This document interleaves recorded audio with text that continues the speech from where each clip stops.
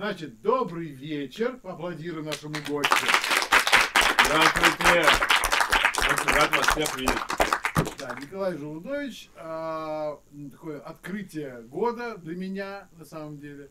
Вот, а как я тут выяснил в кулуарах, ребята тебя уже давно знают, некоторые давно уже слушают, смотрят, видят, э, даже следят за твоим творчеством, чтобы ему дико приятно, что параллельная школа, Московская школа нового кино, выпускает тоже талантливых людей. Однако сегодня... Это правда. Да, однако сегодня в Московской школе кино. Сегодня мы встречаемся в рамках «Пять вечеров». Такая программа интересная, где пять э, человек за год, пять человек за год, я вошел в пятерку сейчас, вот, приходят и рассказывают о своем творчестве. Творчество разнообразное. От фильмов до становления, мыслей, э, рассказывают студентам, как может быть, как могло было быть, как будет дальше и так далее. До тебя был с огнем Милашин приходил, вот, рассказывал, как он тут всех сожжет.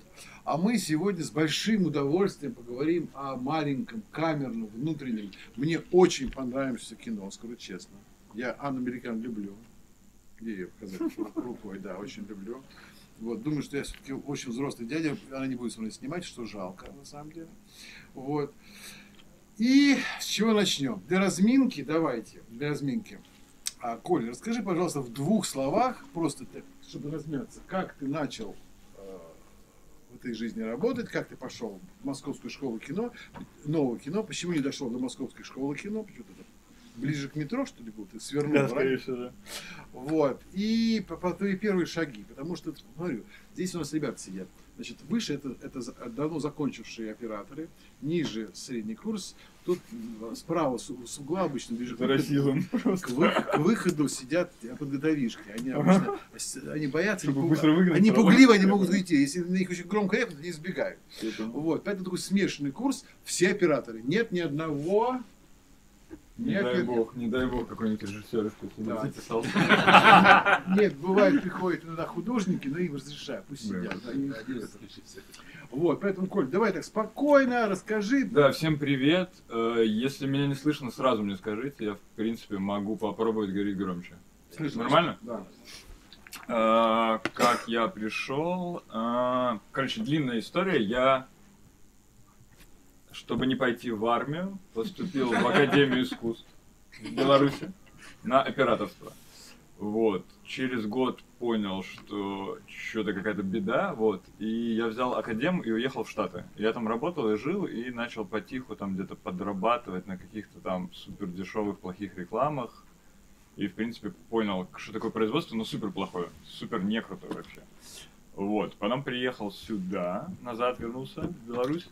И мы с друзьями решили просто снять док, который вы сейчас видите. Мы на самом деле взяли три фотика и решили поснимать. Это мой родной город, типа родной район. Мы туда приехали, достали камеры, начали снимать ребят, э, сняли их и попытались смонтировать, не знаю, ничего про монтаж, про... Короче, ни про что. Слово драматургия, короче, это было грубое слово на Д, мы не знаем, что оно значит. Вот, и мы просто сложили, и мы дали слово, что соберем за два дня. Потому что всем было в западло, и мы решили, что больше двух дней мы не продержимся все равно. И решили сразу просто, вот что мы соберем за два дня, то и выложим. Вот. И мы в то время супер любили фильмы Костомарова и Расторгуева. И Ага. мы случайно просто рискнули, дерзнули и написали, это мы еще жили в Минске, в другой стране, и мы написали им просто, типа, мы такую штуку сняли, может, гляньте. И Костомаров и Расторгуев посмотрели и дали свои комменты, как бы они собрали кино. И ужасно горит, но мы не воспользовались их комментариями. Потому что нам было уже, честно скажу, это ужасно горит, но нам было лень. И мы как его собрали, так отправили на Ардокфест. И нас взяли, и мы приехали в Москву. И все. И мы поняли, что кино это круто, и переехали, поступили уже в МШНК, и все такое. Вот. Как ты легко. Короче, я главное, чтобы не пойти в армию. Смысл всей истории. Понятно. Я стал оператором, чтобы не ходить в армию. Вот. Так. И вот ты закончил М- М- МНШ МШНК. Да, да, да. И как ты попал на картину «Кмеликян»? Через рекламу, через документальные работы? Вот, вот как вот это Хороший вопрос. Я закончил МШНК, и если два слова, я там понял, что я научился снимать, потому что ходил на лекции по режиссуре. Это самое главное, я потом расскажу про это. Вот. Я вам советую тем же заниматься тоже. Вот. И я долго снимал маленькие арт-работы, я больше снимал э, всякий видеоарт и снял 3-4 работы сам как видеохудожник. Так. А, сори. Вот, и в это время я там снимал какие-то видосы, такие артушки, типа того, ну, маленькие прям там ролики. И потом мне позвонил Евгений Марьян, это такой дебютант все еще, потому что наш фильм с ним не вышел, и предложил мне полный метр. А, это было снято на студии Коктебель, которая снимала там Хлебникова, Ну, понятно, Серебренникова, да, все вот, да, Шульцес и все такое вот. И я супер как бы загорелся, и мы поехали в независимую и непризнанную всеми страну Приднестровья и сняли там, короче, полный метр. Он до сих пор еще не вышел, потому что он откладывается, потому что а, хотят подать на фестивале. Его взяли в прошлом году, но отменили фестивали. И он еще год ждет. Это вот одна из тех историй, когда ты уже забыл, что ты снимал что-то, а оно все еще не вышло. И когда-нибудь в 2025 тебе вручают какую-нибудь премию, либо хвалят, а ты даже уже не помнишь за что. Это тоже часть кинопроизводства. Надо к этому быть готовым. Вот. И там мы познакомились с Екатериной Джагару, художницей. И она следующую работу снимала с Меликян. А до этого она с ней снимала фею, кажется. И, да. Вот, и они начали снимать, а, начали готовиться к проекту, который тогда назывался, да, уже тогда назывался «Трое». Вот, и Катя посоветовала Ане познакомиться со мной. А до тебя не был оператор? А, кажется, был. И мне кажется, там что-то там не пошло. Подсидел. Да, это, это все через, через это как, через Через рукопожатие, за, за бабло, за процент, как говорится. Шутка, нет, ну просто типа Катя сказала, что вот есть такой оператор, с ним работала, и вот советует познакомиться. Мы познакомились и решили снимать. Слушай, скажи, пока мы не, не взялись э, крепко за картину, не стали ее э, по косточкам разбирать, а есть много интересных вопросов, ну, интересных, с моей точки зрения, может, твои не очень. А, ты сказал ребятам по поводу того, что заниматься режиссурой. А, сразу сразу оговорюсь. Известно, что Московская школа нового кино делает большой упор на занятия с операторами, в том числе и с режиссерами режиссуры, общий просмотр, общее обсуждение. И там мозги э, операторов строятся в том числе очень режиссерские. Я совершенно не удивлен, что ты занимаешься и документальным, параллельным кино, и снимаешь игровое, потому что у вас там так, так построено обучение, что мышление неразрывно связано режиссерско-операторское. Вот. А по, по, по поводу техники чуть попозже, позже поговорим. Ты скажи, почему сказал ребятам им, им этим заниматься? Ты считаешь, что это должно быть? изучать режиссуру, Так. а больше времени проводить с режиссерами. Вот в прямом смысле этого слова. Можно бухать, если не хотите ходить на одни пары. Это они делают, да. кто- Правильно делать. Он думает, с Потому что, мне кажется, самая большая проблема дебютных фильмов в том, что есть два лагеря, и они, у них нет общего языка. И все, что я слышу как режиссер... Вот я вчера сидел в баре, и мои друзья-режиссеры жаловались на то, как им ужасно работать с оператором. А позавчера я сидел с двумя операторами, которые снимают дебют, и они говорят, что просто, блядь, с режиссерами никогда в жизни. С этими Невозможно. людьми, да. Я просто слышу, что и те, и другие просто как бы не знают, как разговаривать с друг другом. Вот и вся проблема. И мне кажется, что вот это вот как бы... Ну, что должны быть какие-то, я не знаю, можно ходить в аквапарк, если лекции не нужны. Ну, не знаю, короче, просто больше времени проводить друг другом. Типа того. И это, как бы, мне кажется, основа вообще. Потому что, мне кажется, всем страшно. Ну, все боятся признать, что им страшно. И все начинают искать, типа, что проблема в другом, что, типа, я хотел снять хорошее кино, но он, типа, не понимает. И это говорит каждый цех на других всех. Потому что всем, на самом деле, все до конца не знают, что хотят. И чем больше времени люди говорят вместе, тем им проще, как бы, сделать то, что они хотят. Вот, мне так кажется. Ну ты же говоришь, а, а ты про себя, ты то же самое можешь сказать? Или ты пытаешься- Конечно, конечно, конечно. Сто процентов. Ну, У меня, кстати, вчера был режиссерский дебют. Поздравьте меня, пожалуйста. Е-е-е! Супер привет. Черт побери. Спасибо. Сори. Я так часто читаю. М, Мне кажется, это такая как бы проблема, что это э, твор... э, как сказать, блин, творческая профессия. Заученные фразы. Коллективное творчество, да. А все отдельно учатся, обучаются кусочкам. И как бы никто до того, как начинает делать, как бы вместе на самом деле, ну, короче, надо, типа, очень много времени, мне кажется, потратить на то, чтобы вместе стусоваться, чтобы вообще на одной волне, типа, как бы, я сейчас с режиссером снимаю, Мы вот так друг на друга смотрим после дубля, и мы типа, все. Вот мы поговорили, мы типа обсудили следующий кадр. Я без шуток. Что мы с ним, ну, типа, просто друзья и тусуем все время вместе, и мы как бы там одно кино сходим там, я не знаю, не шмотки носим, ну, типа, вот вплоть до такого.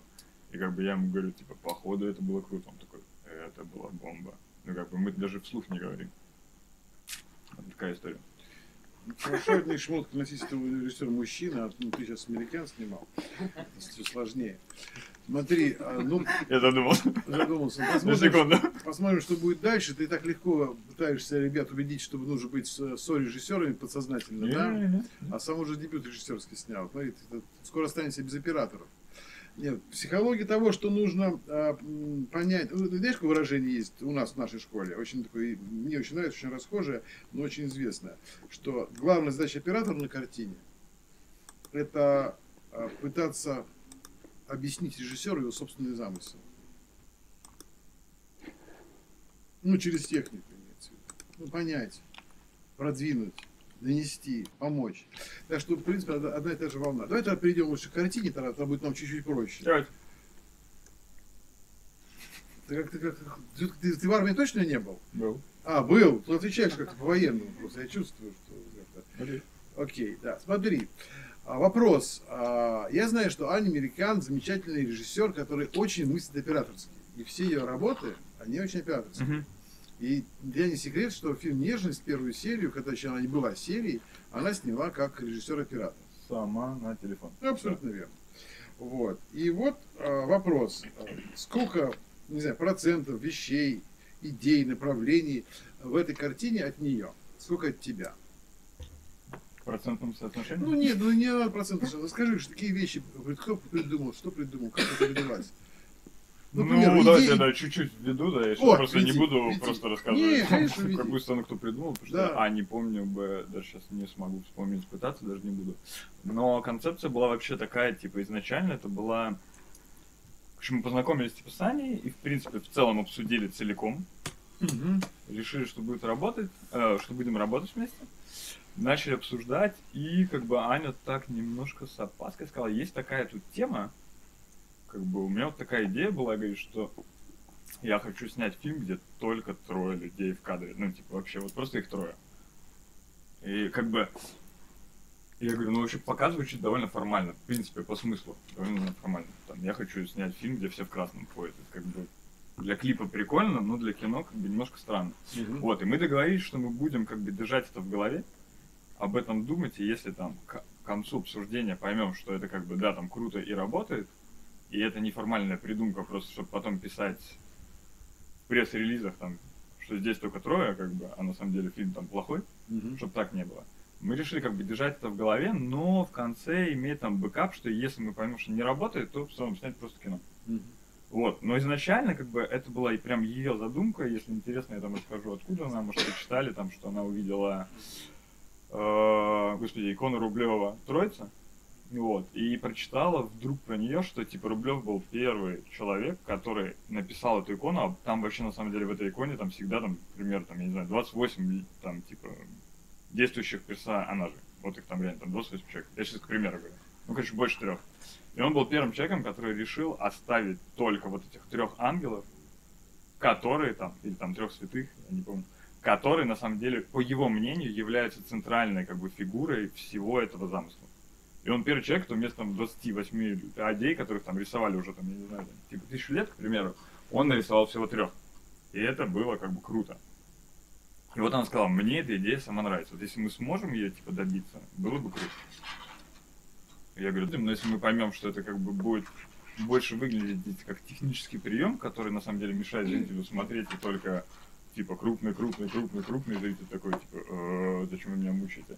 Тогда мы откажемся. Если мы поймем к концу обсуждения, что интересно, это создает язык и это работает, пробуем и делаем это. И где-то уже там на день такой двадцатый. Ну, я еще сразу скажу, у нас были жесткие там по времени рамки. Мы каждый день встречались вообще почти без выходных, на самом деле. Даже не 6-1, а прям практически без выходных. По 12 часов вы там читали сценарий, переписывали, раскадровывали, прям вот так жестко работали. И, наверное, на день уже 20 мы поняли, что прикольно. Типа, надо пробовать. Вот. И, но первые дни, когда снимали, это было... Вот я, кстати, должен сказать, вот я сейчас еще тоже на пленку снимал, и я первый раз в жизни не дублировал на цифру то, что снимал на пленку, хотя мог. Ты говоришь про какую картину? Это то, что я снимал вчера. Но я говорю, что и там же я понял, что вот надо себя все-таки сказать, что если я уже решился что-то делать, не надо как бы бэкапиться. Как бы не надо давать себе возможность спастись. Потому что каждый раз, когда ты такой, мы с Аней там решили, все, общих планов не снимаем, ничего не делаем, только люди, только крупно, и в первую смену такие. А давай общий план «Может, снимем, на снимем всякий случай. Да, ну что, нормально сидим, хороший план. И мы такие, давай снимем, потом такие, стоп, если мы сейчас снимем общий план, то вообще все, как бы, можно не снимать, ну как бы, можно просто снимать кино. И это был такой первый день, когда мы такие, ну что, объявляем конец смены? Бля, я не знаю. Страшно, Ну страшно, что, объявляем? страшно. Я не знаю. И мы просто такие там полчаса просто взяли, перерывы, мы такие, объявляем, объявляем. Нет, давай, нет. И потом объявили, и все, и решили снимать без общих планов, только трое, не переводимся, хотя могли, ну, как бы, вот эта штука, когда ты можешь физически, и потом ты представляешь, что там год готовился, потратил деньги, и просто потом ты на монтаже понимаешь, вдруг, Не хватает. Просто надо а было снимать общий помогите. план, да, да, да, да. И ты вдруг понимаешь, что ты этого не снял, и это, конечно, сложный выбор. Поэтому я к тому, что это сложно выбрать, но если ты уже решился, лучше попробовать и снять до конца. Колька, ну подожди, ну там есть общие планы, потом вы, вы, вы я нашли, расскажу, вы нашли, Да. да. Расскажи, три, давай, расскажи. Каждый общий план является от, как это сказать, за окончанием повествовательной линии, Линии. каждого героя, и он как бы так или иначе является освобождением этого героя, что он как бы не освобождение, что герой себя принял таким, какой он есть, типа вот она такая, вот она всех строит, вот она всем там мозг делает, но вот она такая, она сама на себя посмотрела, и я такая. Потом а, у кого?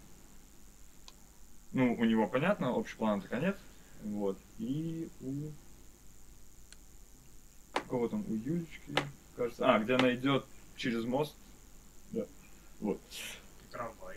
Трамвай. Трамвай. Ну, трамвай это просто на самом деле меня попросили не заканчивать. Вообще он должен быть был отрезан, когда они падают. Но так красиво сняли, что они решили ставить. Но это внутри одного крупного кадра. Поэтому это такой полуобщий. А Полуобщий. Полуобщий! Запишите, новый термин есть. Как, как хорошая фраза. Как и хорошая группа. Вот. Э, да, но я бы сказал, что это супер длинная накадровая история, которую на монтаже, сволочи, не спросив меня, продлили до общего плана. Ну, дорогой мой, ты камеру включил, снимал, значит, отвечай, все. Я мог отвести ее, конечно, случайно уронить на пол. Этому я учу студентов, но Правильно. однако не, не- не позволяет и нравственные какие-то вещи сложить. Но я не имел в виду чистых общих планов. Все равно же вам удавалось снять в замечательном, потрясающем, хорошем, умном, тонком, прекрасном, очень простом э, варианте, когда у вас расфокус общего плана. Да, да, это тоже. Это мы очень, просто- потому что там просто это было тоже, кстати, это вот, кстати, если мы сейчас говорим про то, как проворот 360 через зрительный зал, Ну, это тоже есть. Я как раз вообще имею в виду, да, там Пересильд разговаривает с девушкой-продавщицей э, цветов, А, да. потом уходит в, в- расфокус. Или там Да, все да, сцены, где было там типография, там где-то печатается Да, да, да, книжка. да, это женщина пошла, вроде есть женщина, вроде женщины и нет на самом деле. Да. Она и существует, она не существует, она да, а такая- еще я сейчас вспомнил про этот проворот, когда она на, на сцену выходит и вручает премию. Да. Там есть проворот через. И Это просто, мы, это было там тоже полчаса, мы такие, замучились. ну, может, все-таки снимем. Монтажно. Ну, не, не, нет, может, все-таки проведем и покажем этот зал. Мы Ага. просто снимали, чтобы Да, вы да, понимали в этом э, Астория или где-то. Супер красивый, в центре Москвы, там лепнина, просто 10-метровые потолки, колонны, и мы такие просто, А ну э, ничего этого не покажем. И там Катя художница, вы охренели, надо снимать общий план. Мы такие просто, типа, что делать? Я говорю, я не буду снимать. Ну давай хотя бы по расфокусу. И, ну, типа, тоже, короче, огр- ограничения, они, на самом деле, помогают а, придумать. И это нормально, на самом деле. В одной комнате снять, сразу начинаешь придумывать, снять на одну оптику, начинаешь придумывать, там, я не знаю, снять только сидящих людей, начинаешь придумывать. Короче, есть что-то в этом. Но если это выстраданное, то лучше не делать. Короче, главное понять изначально, что как бы есть шанс, что это было прикольно, или это будет просто выстрадано, что я там снимаю, ну, короче, все на контровом. И иногда ты такой, типа, э, говорят люди, я не вижу, что вы говорят, это как-то стрёмно и странно. И ты выключаешь. А если это прикольно и работает на идею фильма, тогда круто работает. Бум. Пш.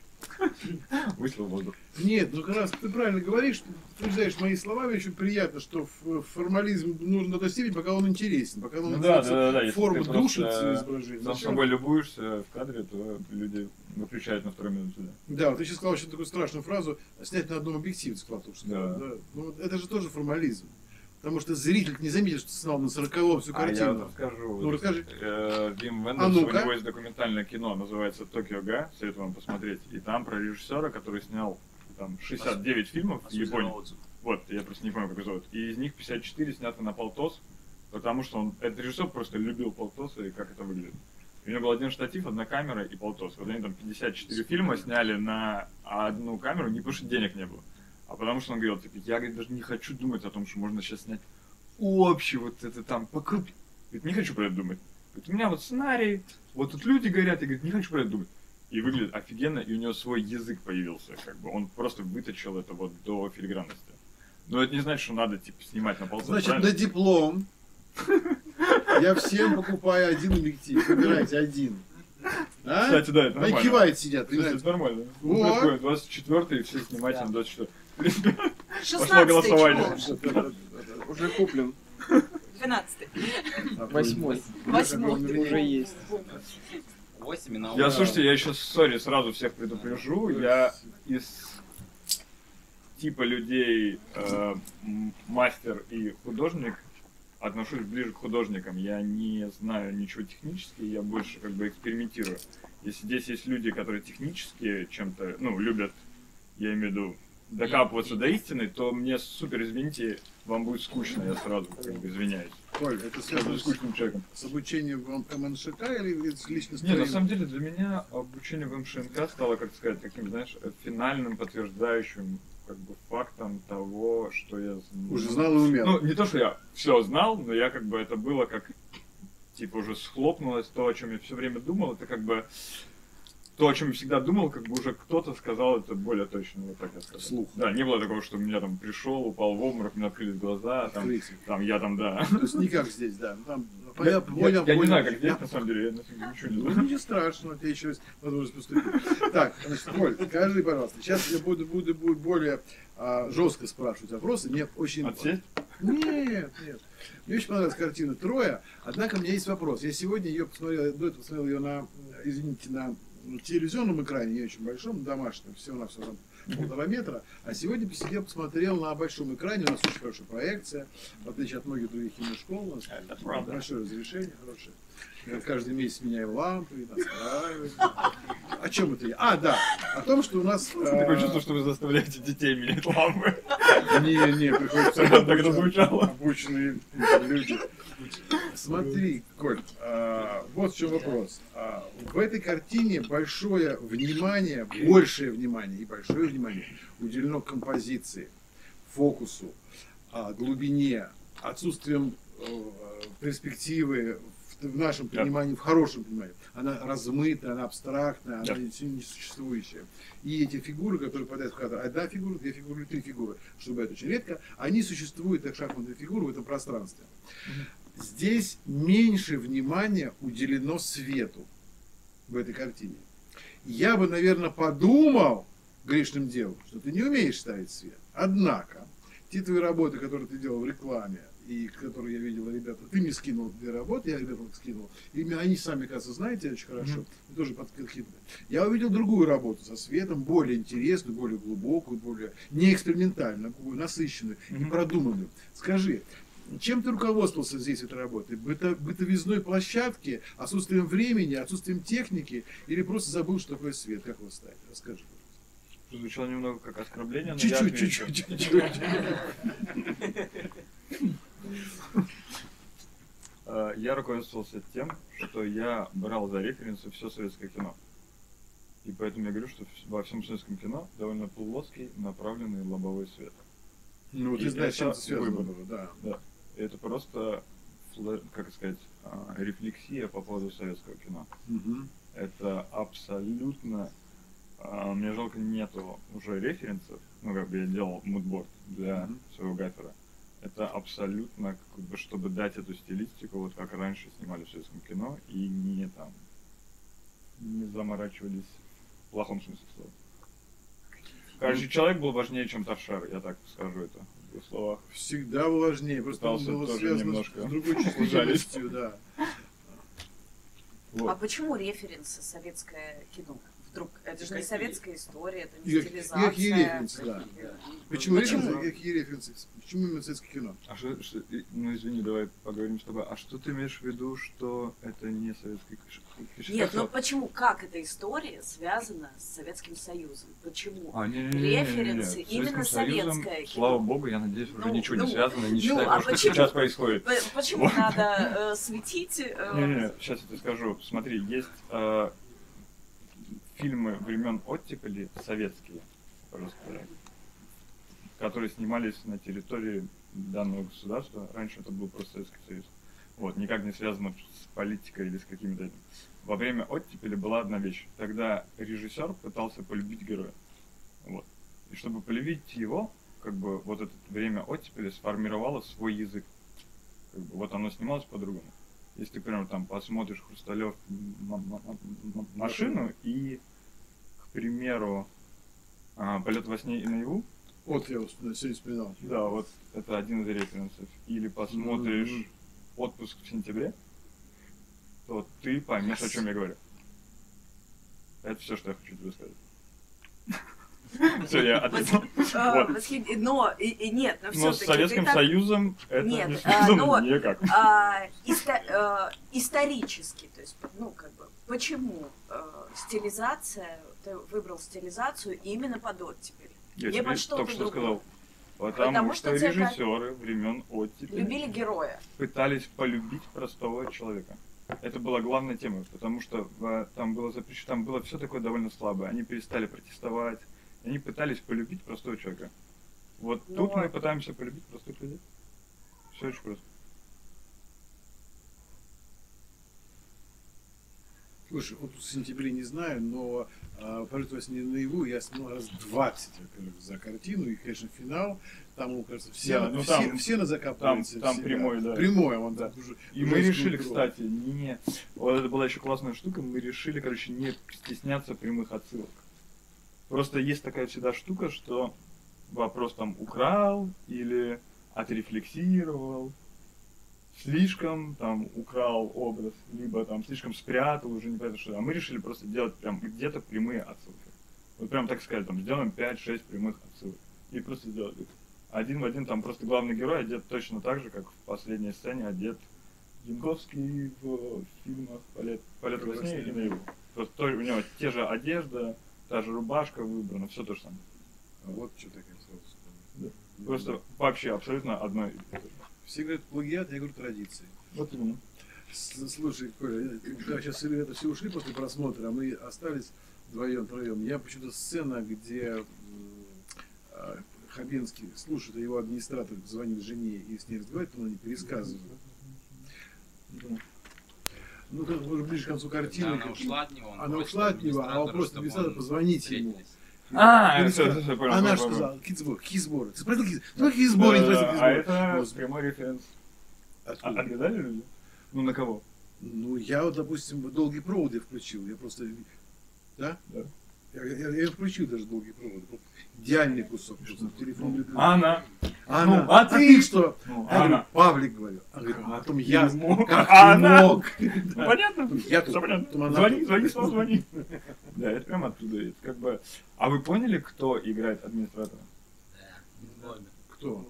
Не злобин. Да. Ну, комик По такой. голосу, по голосу узнал. Который там, ну, короче, неважно, главный из Comedy Club, что все равно можно, мы поняли еще, что можно, даже когда ты портрет не показываешь, задействовать голоса, которые прямо все равно у всех, как бы, ну, типа, ты услышишь все время.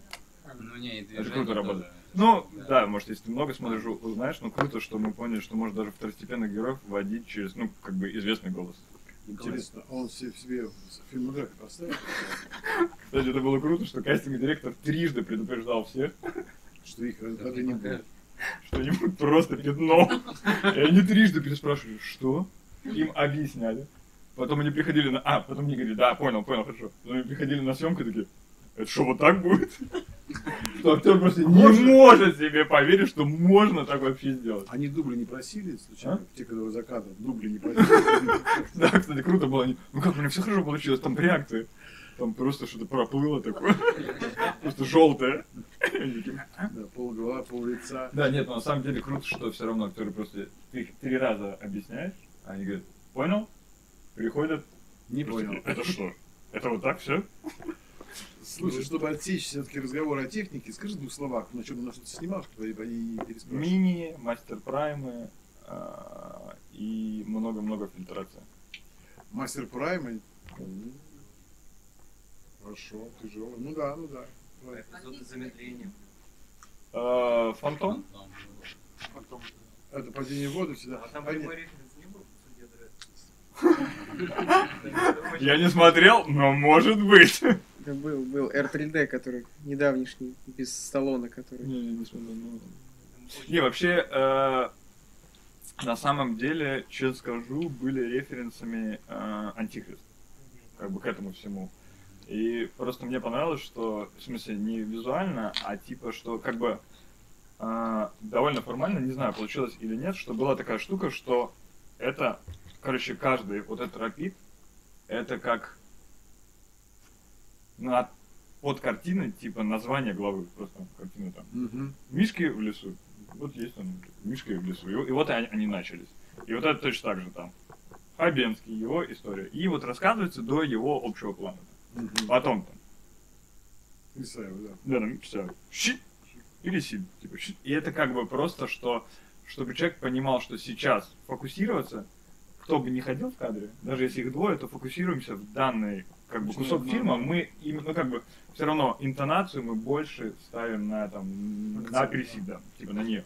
И это такие просто как главы иногда текстом пишут, вот как, я не знаю, фон Триер пишет глава там, боль. Вот мы такие просто. Глава Хабенский. Это как бы, ну, нет такого какого-то прямо э, типа разделения на главы. Я бы назвал это так. Может, я не прав. В начале фильма Хабенский падает в воду. Где снималась сцена? Именно кадр с Прямо в фонтанке. Нет, где он снимает с себя. Под водой? А, в воде. Аквариум. В аквариуме, да. Мы должны были добавить много-много грязи. Не Но надо. потом почему-то мы поняли, что это все равно так, типа, как сказать, сказать. Ну, Не патриотично. э, как это правильное слово? Не патриотично. Не патриотично. Не, ну неплохо. Я просто белорус, мне все равно. У меня этой темы нет. Вот. Это Но пока- Мы в подводный, да, с ракетами. А вы не смотрели? Я, извините, должен рассказать, не могу не рассказать. Есть, называется Операция Одесса, кажется. Это документальное кино про то, как в 90-е годы, как тут люди махинации творили. Там просто, если включится трейлер даже, там есть такой человек, который по-английски, ну я сейчас по-русски скажу, он такой говорит, и мне звонят эти русские, и... А, нет, мне звонят эти американцы и спрашивают, можем ли мы купить подводную лодку Гарри? Я, говорит, думаю, окей, сейчас перезвоню. Вешаю трубку, и потом второй говорит, и тут мне перезванивает, типа, Даня, и спрашивает, с ракетами или без? Я просто понял подводную лодку, просто это про 90-е. Вот. С ракетами или без? Э, Да, вот. И что я говорил? А, и мы решили, что просто когда он падает в воду, это, короче, есть вот этот вопрос, все равно в любом творчестве все имеет степень утрированности, не в плохом смысле, а что это все равно не является э, реальностью как таковой. И как бы, и вот мы решили, что это все равно так утрировано, как он падает в воду, что не надо там рисовать грязь и водоросли, потому что все равно после такого кадра это не звучит как реалистичная история. Эстетика выше правды. Да, ну, может быть, где-то сред... борются, но мы поняли, что, короче, не надо рисовать эту грязь, потому что все равно он так падал, что это не док-съемка, где бля, упал в воду, потом бля, плавает в воде. А из этого потом мы вышли довольно рисующейся кривой камерой, благодаря мне. Пару слов можешь сказать о А фильм? О. О фильме. Я только что говорил про фильм. Пару слов о фильме, пожалуйста. фильтрация. Какая была фильтрация? Фильтрация. Отгадайте. Про дроны. Вы сказали много. Да. Вот Да. интересно, почему много. другого- они прогуляли остальные фильтры, они знают такую проводность. Ну, а, не, ну, а, а еще какие? Смотрим. Не знаю такого круто. Да не шутка, не, ну там на самом деле промис плюс сатин. И сатин всегда, а промис либо white, либо black я менял. В зависимости от тональности сцены. И от портрета. от крупности. Так. Так. А вот скажи, такой есть фильм, который снят такой примерной манере, где ты держишь все время крупным планом лицо героя, а вот все, что за ним, мир, там он размыт. Что у тебя это присутствует? Есть такой фильм «Сын Саула». Ты на него как-то ориентировался, нет? А, да, мы его, мне пришло, короче, как раз мне его даже, если я не ошибаюсь, мне его даже Аня сказала посмотреть, когда я начал И нянчить, ты до сих пор у тебя он стоит в списке посмотреть. Я его смотрел еще до этого, но когда я смотрел его до этого, я как бы его смотрел просто как фильм. Вот, но, когда я посмотрел его, там как бы там больше, ну, я согласен, Да. да, Потом начинается общий план уже ближе. не-не, еще даже не про общий план, там просто другое. Там они все время за ним следуют. Там больше работает вот это, что они преследуют, и что, типа, все это просто у него в голове, и он просто с ума сходит. Там это вообще супер круто работает, но там, не считая этого, там они все время за ним, типа, плывут. И это самое крутое, что там есть. Я думаю, если бы это было на шире снято, может быть, было так же прикольно, если бы они продолжали за ним следовать. Это я сейчас не обсуждаю, как надо снимать фильм этот, а вообще говорю. Но я его посмотрел, просто такое, как бы, больше, знаешь, для себя, чтобы перестать нервничать, что, в принципе, так сделать можно. А. Реферил ли я его? Нет вообще. Не, у меня типа референс только советское кино все. Как бы у меня вообще ничего. И честно скажу, два-три кадра из Ксавье Долана. И Откуда? честно скажу, из и все же Лоренс. И честно скажу, если вы узнаете, откуда первый кадр, с которого начинается фильм, респект вам. Первый кадр. Человек едет на мотоцикле А, сзади девушка. Жум, жум. Волос развивается. Нижний А? нет? Американский. Хорошо, давайте, кстати, да, из какой школы? Да нет, да нет. Француз. Точно, да. Потому что французы тоже любили людей всегда. Они не еще, кроме людей э, противоположного пола, не любят, в принципе. Гадар или Трюфо? Нет, это, короче, Каракса, только я не помню, как называется фильм. Там есть такая сцена. Ну вы угадаете. Да, я смотрел нож в Исканте, я такой, о, вспомнил. Короче, это Каракс и, кажется, любовники с нового моста или что-то такое. Вот, и там есть кадр просто, как человек очень долго едет на мотоцикле, и это такая сцена освобождения. Вот. И вы поняли потом, что, да, человек, там, труп, который лежит, это и есть та девушка, которая ехала. Да. Да. Я Ну, У тебя четвертая высшая? Нет, четвертый да. высшее. Я просто мне интересно спросил. Мне 17 лет, и это моя первая киношкола. Окей. Слушай, кадра. Почему не с вами на ты разговариваешь? Правильно делают. 4 на 3, потому что еще раз, если ты вспомнишь референсы, Ну, только из кино. Правильно. Ну, круто. Все советское Конечно. кино того времени снято 4 на 3, процентов 85. Драматургический. А драматургически это оправдано то, что мы фокусируемся только на человеке, и в квадрат просто крупный план больше влазит и занимает все пространство. Но по факту, как бы, то, что я сейчас говорю, это и было тогда в советском кино, как бы, ну, все оттуда и вытекает. Реально, просто они фокусировались на людях, все. Вот как бы есть просто два слова, типа фокус на человеке, на герое. Как бы не на окружении, не на то, не на предлагаемых обстоятельств, просто что такое человек, что значит быть человеком. Типа вот такая история. Как ведет себя простой человек, когда он изменяет жене или мужу. Вот просто на вот этом, а не на интересной завязке, невероятной драме, на том, что там пришельцы прилетают, что-то такое. Я не знаю, как м, объяснить, но в принципе там все работало, ну как бы, и вот просто мы взяли и кто-то может назвать украли, переработали, отрефлексировали, отреференсировали, любое слово. Почему тогда не 16 на 9? Ну, если не, не советское кино. Было бы еще уже, прям вообще один Да человек. Нет, ну, ну, справа и Не, слева наоборот. никого нет, господи. Квадрат да. Квадрат, да. Да. На телефоне удобнее смотреть. Я вам знаете, что советую посмотреть? Вы смотрели Age Out? Кино такое. Посмотрите Age Out, либо он переводится еще «Кто в пятницу родился», называется Friday's Child.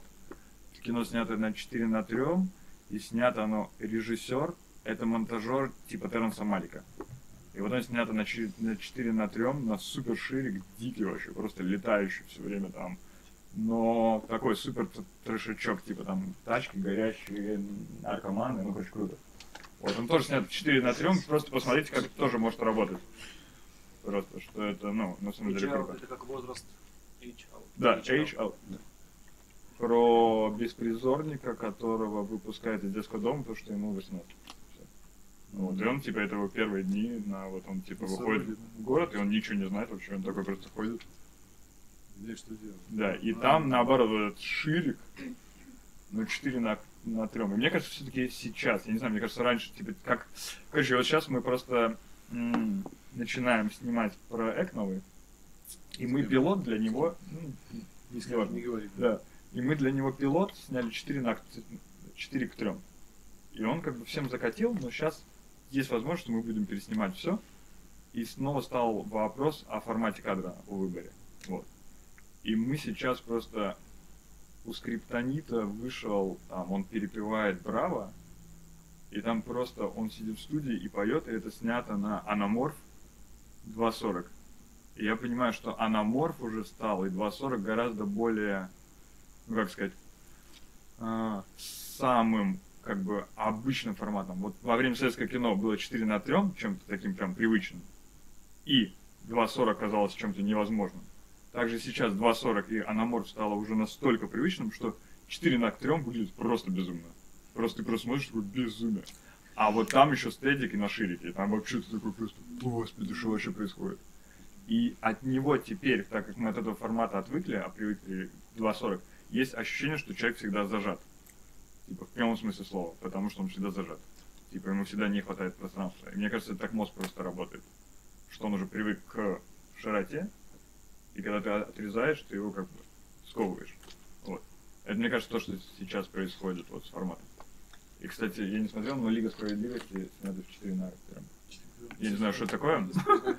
Я не знаю, что это, но это снято в 4 на 3. До того прихода я сказал, что Не снято? 4-3 победят. Режиссерская версия, которая вышла. А, респект режиссеру. Я просто, не, я шучу, я просто имею в виду, что надо еще понимать. а, Короче, это просто хороший пример того, что ты себя спрашиваешь, а, ты себе говоришь, к примеру, там, сидит убийца. И вот первый образ, который приходит, клише, он крутой. Надо понимать, что это клише, но он где-то работает как клише у Тарантино, который его развивает до офигенного клише. Либо ты можешь им работать с ним как с тем, что герой ждет от этого. Э, то, что зритель ждет от этого. И, типа, зная это клише, ты можешь на него, типа, рефлексировать и делать что-то совершенно другое. Вот теперь 4 на 3 это просто, ну, как бы, меня все спрашивают. История про 4 на 3. У меня все спрашивают, почему 4 на 3, и, следовательно, это уже вызывает эмоцию. Потому что никто не спросил, бля, почему 2.40? Вообще ни один человек никогда не спросил. Ни у кого за последние 20 лет. Ну вот почему 4 на 3 все просто в шоке. А когда мы отдали материал, человек, который отвечает за техническую часть, спросил, это что, вот люди так будут смотреть, у них слева и справа будут черные поля? Мы говорим, да, будет он. Реально? Мы говорим, да. Ну, не знаю. Что человек просто не может представить вообще просто как бы. И это круто, значит, это ломает мозг и заставляет тебя думать, как бы так или иначе, какую-то толику. Если ты там смотришь много старого кино, то, ну, то, наверное, меньше. Если мало, то, наверное, больше. Но все равно это работает как факт. Просто есть какие-то вещи, которые работают. Если ты перевернешь картинку сверху вниз, это будет работать. Человек сразу спросит, зачем. Пока он спрашивает, зачем, ты его там еще чем-нибудь бьешь. Короче, просто надо знать, что банально, и это круто, когда ты понимаешь, что типа это банально, и ты с этим можешь работать. Black Promise и Сатина. Да, сегодня тоже я бросал, я боялся, что я опоздаю сегодня, я бросил э, файл, фильм «Т- Трое. Люди стали скачивать, и мне присылают скриншот первого кадра. Ну, не первый там кадр, какой-то формат странный. Ну это круто, Я знаешь, это то, реально круто. что Ну это круто, это типа как в треугольнике снять, я не знаю. Ну если это подходит. Ну я сейчас примеры говорю, там просто взять треугольник снять. Ну, уж. Ну, и, ну, как бы нет, круто. Ну, как бы, если тебе это помогает, и ты хочешь, как бы, вызвать вопрос, и это, типа, еще визуально помогает истории, то это круто, короче. Либо можно как чувак снимать на полтос, если ты не хочешь, как бы, на этом акцентироваться и просто там заниматься персонажами, героями, ну, как бы, драматургией. Но это классно и неплохо. Слушай, Коль, скажи, пожалуйста, а вот ты так говоришь, что вы с Аней долго работали вместе, без выходных, сидели и фразу бросил, переписывали сценарий. Насколько Да. ты принимал участие в сценарном, сценарной линии? Тебя слушали? Да. Из вежливости или... Нет, меня слушали прям. Меня прям слушали, потому что мы... Ну, наверное, потому что я что-то говорил, что интересно. Боюсь предположить, но дай бог, чтобы так и было. И плюс, как бы, ну, мы поняли, что чтобы случилось вот то, что, о чем она говорит, что хочу, чтобы только трое. Следовательно, надо каждую сцену пройти заново. Потому что текст описался просто как текст, как книжечка. Человек вышел к реке. Река, водичка потекла. Общичок, птички полетели, перевод фокуса, лицо. Ну а типа, а теперь такой, ага, типа, никого нету, человек вышел к реке. Давайте подумаем. Как бы каждая сцена, в принципе, просто обсуждалась, типа, вместе с художником. Ну, как бы мы придумали. На самом деле, у каждой сцены у нас не было ну, типа раскадровки были, но не было такого, что там крупный план, а потом средний. У нас были такие, как бы, референс-кадр. Ну, не референс-кадр, а главный кадр зарисован художником постановщиком зарисован в цвете именно цветовой палитре. Как бы, ну так, типа, довольно просто, но именно цвет. И у нас было описание, как бы, придумка каждой сцены. Вот каждая сцена, она была придумана, почему так снят. Типа, я бы назвал это даже смыслово-технический. Вот так бы я назвал. Каждый. То есть эмоции записывают, которые должны вызвать картину. а, Нет? Ну, мы обсуждали, да, для чего. Да, и технически тоже. Ну, как бы я назвал это всесторонне. Ну, как бы каждая сцена почему-то так снята. Не просто потому, что сейчас еще восьмерочку, и надо двоих, и давайте перебьемся. Давайте еще покрупнее, на всякий случай, если на монтаже не хватит. Да, бы такого вообще не было. Это был, конечно, это было круто, потому что это был такой прям риск, знаешь, ну, как бы для меня, потому что я такой, типа, ну, как бы страшно на самом деле, что ты вот сейчас принимаешь решение, и ты понимаешь, что, может быть, здесь надо было еще там снять обратку. И ты, главное, не, не проблема ее снять. Ну, ты как бы себе говоришь, если мы сейчас снимем обратку, то как бы завтра мы снимем еще там 20 общиков на всякий случай. 20 обраток. Да, там через 5 дней мы еще забудем, что мы снимали, как бы. И ты такой, как бы, каждый раз, но где-то, кстати, на день 15 просто полетело, прям уже все, мы как бы свыклись. Сколько дней был? Съемочных, э, не знаю, дней 35, наверное. О, так, нормально снимали. Ну, да. А раскадровывали, рисовали? Ри- э, Раскадровывали, да? Да. Э, После губернатора. Честно, нет. Прямо, ну, как бы до выбора и некоторые сцены, потом уже когда натуру выбрали, типа перерисовали там, перераскадровали. Но в целом, как бы это на самом деле где-то круто, потому что ты как бы о, идешь от смысла, и ты знаешь, вот мне тут надо, чтобы вот так работало. И ты уже ищешь локацию под то, чтобы вот так работало. И ты уже едешь и такой, «А это не подходит просто даже. Какой бы цвет она там не была, сколько бы окон не она просто не подходит. Вот. И вот концепция, к примеру, квартиры была, что нужен полный круг, вот, чтобы пролететь этот круг там как бы. И, понятно, искали разные, там, Катины друзья, в конце концов, это самое классное, которое мы нашли. Но смысл был в том, чтобы, типа, можно было сделать абсолютный полный круг 360 внутри квартиры. Чтобы, чтобы она была вот такой. И она была найдена, потому что вот такой смысл был в этой сцене что его мир целиком там типа пустой. То есть правильно понимаю, что картина, хотя производит впечатление малобюджетной из-за крупности, из-за такой локальности, она совершенно не малобюджетная, она нормально постановочная. Да. То есть это ваше сознательное решение. Интересно. Ну, не было целью снять картину, которая с виду малобюджетна. Не, понимаю. Но как бы и не было э, мыслью снять, что бабки потрачены не зря. Такого тоже не было. Вот. Просто снимали то, что хотели снять. И не знаю, я не знал, сколько что стоит, честно скажу. Поэтому то, что хотели, то снимали. Вот. Вроде бы получилось. Да, получилось интересно. Что? вы А Интересненько. вопросик. Актеры не утомлялись, они же все время должны были отыгрывать, да? То есть это Слушай, Я тебе, честно, я тебе просто честно скажу, актеры счастливы. Да? актеры, чем ближе ты к, к ним с камеры, вот настоящие актеры, а это просто, те- те- что бы они тебе ни говорили, они счастливы. Просто чем крупнее просто портрет, а они просто можем на стоп-кадре даже, когда они просто смотрят такие, это же я на весь экран. А в октябре это там, а, 30 мет. Понимаешь, а еще когда ты свет долго там под них мажешь, аккуратненько, они понимают не спеша там рамочки добавляешь, это же они просто расплываются и абсолютно счастливы. Были абсолютно счастливы. Ну и классно, что они на самом деле старая в хорошем смысле гвардии, они умеют работать по точкам, они все это понимают, потому что сейчас много актеров, потому что это же как бы все считается зашкварно, что типа там точки, там вот здесь надо сесть, вот это взять, там надо жить, придумать себе концепцию и существовать в ней. Я документально существую, и они умеют и это, и в плюс там могли 30 раз выйти на одну и ту же точку и посмотреть, и как бы они это умеют делать. Потому что молодые ребята сейчас иногда даже не знают, что это такое, и как бы я уверен, что кому-нибудь молодому, наверное, это было бы супер сложно. Как бы супер сложно. Вот. Но им было хорошо. Ну, как бы, но, ну, мне кажется, нет, они сейчас могут сказать, там, типа, что желудочек поднапрягал там чем-нибудь, но в целом, мне кажется, было классно, и как бы они не страдали, мне кажется. Да, нет. При этом, что ты думаешь о старой, старой школе, на самом деле так, так оно и есть. Не, ну да, но они это умеют, и это на самом деле... Тут еще скажу такое ш- штука, если ты точно знаешь, что ты от сцены хочешь, вот драматургически, актер, то по кайфу, когда люди умеют повторять и добиваться в каждом дубле все лучше и лучше.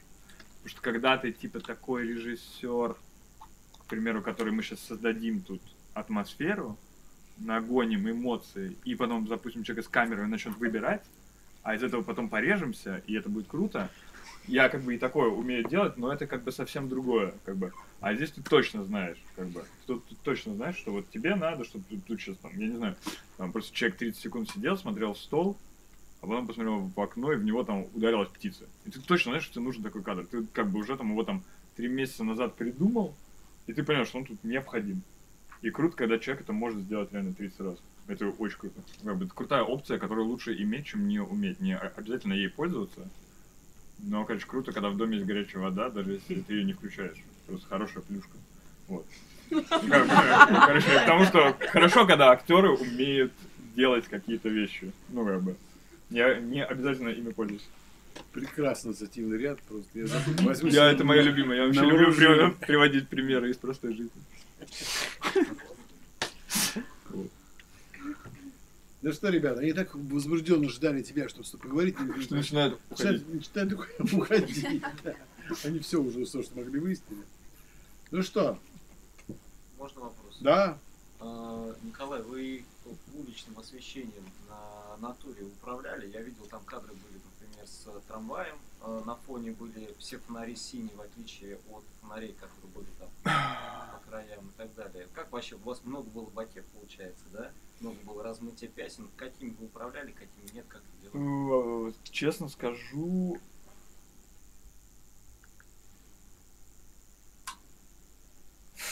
Короче, я не супер люблю страдать из-за света, если я понимаю, что он как бы... Ну, короче, для шоу Урила я не снимаю. Вот я проще скажу. Если вы понимаете, о чем я. Нет, нужно пояснить. Я не понял. Нужно? Да, конечно. Или... Но все Вот прям поняли, только я не поняла. Я не понял. Ну. А, хорошо, я просто не могу понять, ты подкалываешь или нет? А я через раз. Да, я просто, я, извини, сбился, считаю, какой раз сегодня, сейчас в смысле. Вот, нет, я на самом деле, что я... У меня нет такого, знаешь... Короче, я, во-первых, я люблю документальное кино, вот, и я люблю, когда какой-то кусочек там жизни попал кривенький. Как раньше я слышал в Авгике говорили, сделай все гениально, потом подойди, подойди и пни штатив. И вот это вот чуть-чуть криво, оно и будет как бы классно. И все будут гадать там, «А, почему так чуть-чуть, как будто бы надо чуть-чуть левее снимать, почему так правее? И все как бы гадают, почему так. Я так ни разу не делал и не пинал штатив, но слышал такую фразу. Раньше так в гике типа говорили. Вот. Это типа такого же, что я в принципе за, если я понимаю, что эти фонари не несут какого-то прямо, а, короче, драматического смысла или драматургического, то в целом я смотрю, и если меня это не отвлекает, что там просто красное там пятно, если там было красное пятно, и меня отвлекает, и я на человека не смотрю, а смотрю на пятно, вырубите, разломайте, убейте, расстреляйте. Вот, но если в целом там 12 зеленых и один из них синий, и меня не напрягает, пусть классно, пусть будет. Потому что иногда невозможно придумать то, что жизнь придумает. Вот, чем больше док снимаешь, тем больше понимаешь. Это такая история, вот. Но в целом мы искали те локации, в которых не супер надо заморачиваться по свету, когда дело касалось вечера, ночи. Плюс, наверное, если бы я снимал общаки, и это было в фокусе, наверное, я бы дольше там думал про Свет. уличное освещение. Ну, в целом я понимал, что подойдет человек на полтосе, на 1,3, там вообще, там можно, я не знаю, вся группа может там есть в кадре за ними, и никто не увидит ничего, если они не включат свет. Я ужасно говорю, но на самом деле это, Как, конечно, как ты не ломаешь систему? Нет, я говорю, я утрирую. выстроенную всю. Так вы же не предупредили, какая система. Если бы перед входом предупредили, я что-то другое говорил. Ну, короче, я к тому, что ты должен понимать, что, короче, на самом деле, Я засмеялся, и ты перестал говорить. Нет, норм. А, Что идея такая, что главное, чтобы фильм получился. Вот как бы вот это типа сверхзадача просто. И если ты понимаешь, что сейчас, к примеру, там, у режи- вот ты же как бы понимаешь, если вы с режиссером типа говорили, что ты, что вы с ним от этой сцены хотели бы. И ты это знаешь, к примеру, да? И вот ты смотришь, что он с актером работает, к примеру, да? И не получается. И ты как бы иногда можешь сказать себе, там, пусть сейчас свет будет чуть-чуть похуже, но я дам ему еще три часа на то, чтобы он с ак- актером там страдал, потому что, может, у него получится, и типа, и фильм будет лучше. Потому что если актер просто не смог, но в хорошем свете, Ну, это не будет этой сцены не будет, и ты ее снимаешь для шоу Урила, вот то, что я говорил. Вот, в чем Это такая, я сейчас так вспомнил, что я слово шоу Урил сказал. Ну ты Я уже забыл, забыл. ну, Сейчас ты вспомнил. Вот, да. Поэтому лучше, как бы, если ты работаешь на большом проекте, тебе, как оператору, выгоднее, даже я скажу, если сейчас не говорить, что за искусство, а просто тебе выгоднее, чтобы фильм состоялся, чем ты положишься там в шоу «Урил три кадра». Потому что сейчас, на самом деле, все снимают такой тревел, что получше, чем в кино. Ну, честно. Реально. Там сейчас на дронах люди летают там над вулканами, и, клянусь, ни в одном вашем фильме такого не будет, скорее всего, все равно. Вот, поэтому как бы лучше, чтобы сам продукт целиком взорвался, чем там на этом портрете было бы там хорошее вдалеке освещение и фонари ровные были. Если на это тратится полсмены и полбюджета, короче, надо давать себе отчет, что сейчас важнее, как бы, типа того. Я, в смысле, не говорю забить на свет вообще, там, типа, ну, как бы, типа, как одна команда, как бы. Или если ты понимаешь, что там, типа, ты честно можешь режиссеру сказать, «Чувак, мы можем сейчас снимать, но, типа, человека не видно. Типа, это не будет в кино. Ну, как бы, если ты этого тебе надо, давай, типа, ну, потратим там реально, сори, полтора часа, как бы, и ты просто спокойно это говоришь, и вы тратите это время. Ну, тоже, как бы, страдать ради того, чтобы выстрадать, а потом по факту, к примеру, там у режиссера остался один дубль, это тоже боль. Это, как бы, ну, нехорошее планирование. Вот. Ну, вот Слушай, такая история. При таких э, больших длинных кадрах дублей много было? Ты же сам за камерой ходишь, да? Да, я всегда за камерой. Ну, кроме стадикамов. Вот. А, хотя сейчас вот этот новый проект снимаю на стедик сам. Ну да, ты, ты же Типа. режиссер, понятно. Нет, нет, я про тот, где оператором снимаю сейчас, про который я говорил, который А. 4 к 3 новый. А, Вот, там я хожу за, за Комодо и за этим Ронином новым. Он просто легкий, я могу его поднять. а Комодо это... Новый рейтинг вышел. Нет, я слышал. Ты на это Ронин посадил? Да, да. На маленький? Да. Ага. И все, он поднимается нормально, я летаю. Ну и объектив мастер прайма, да? Нет. Нет, мы сейчас Стандартно. собрали Войтлендеры 0.95, сейчас все снимаю на 0.95. Я решил вообще сойти с ума. Не сам сойти с ума, нас свести из фокусника, да? Фокусник там вообще просто сказал, что требует 50 тысяч за смену. В час. И молоко просто. И кефир, чтобы угладили, и кровать с котом.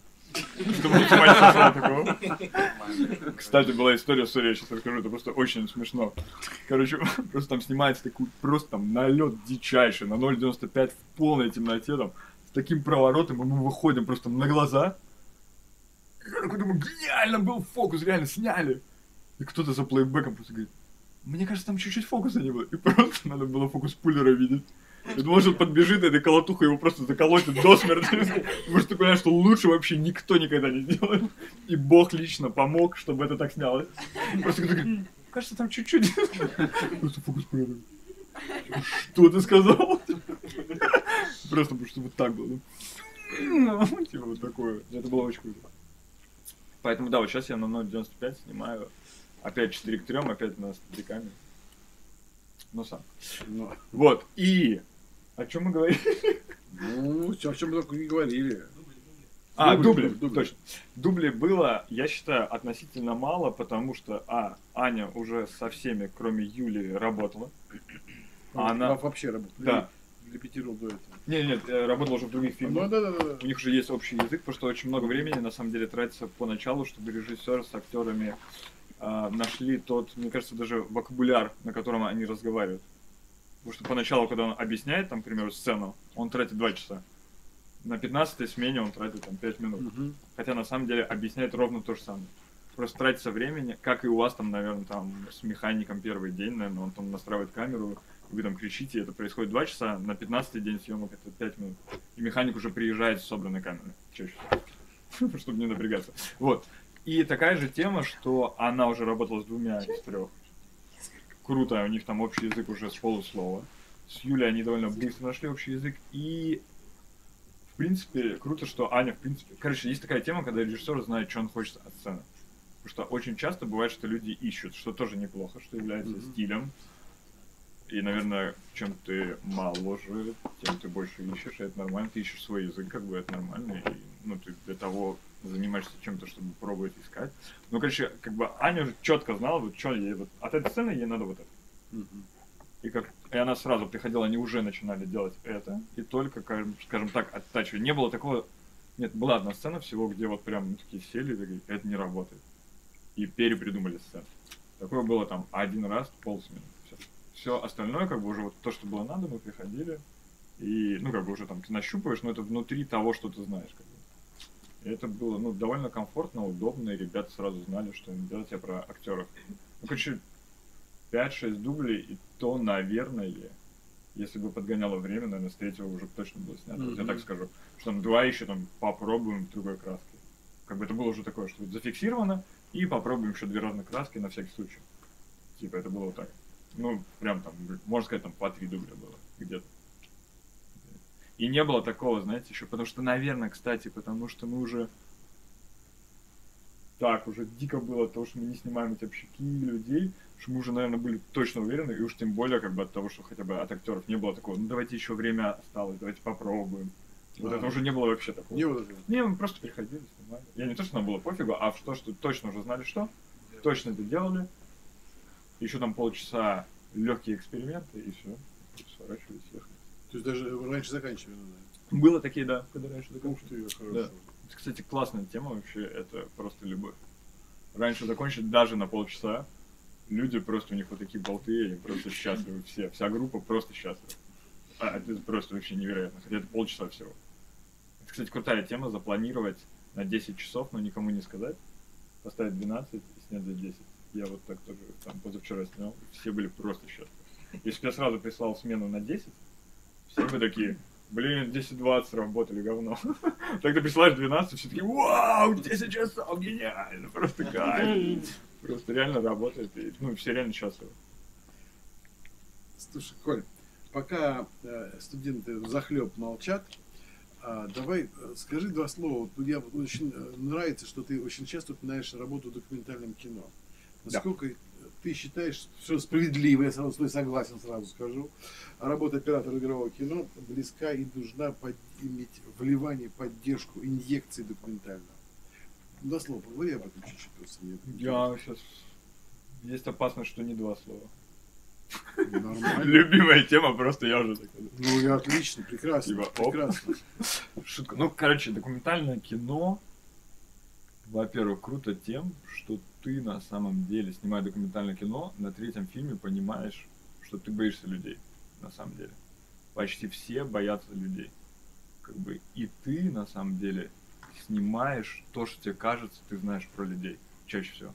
Это касается режиссеров то же самое. Это касается всех людей, в принципе. И только, как говорит Марина Александровна и Саша раньше говорил, вот, ну, раз, раз- да, Разбежкина и Расторгуев, они говорят, что надо полюбить героя.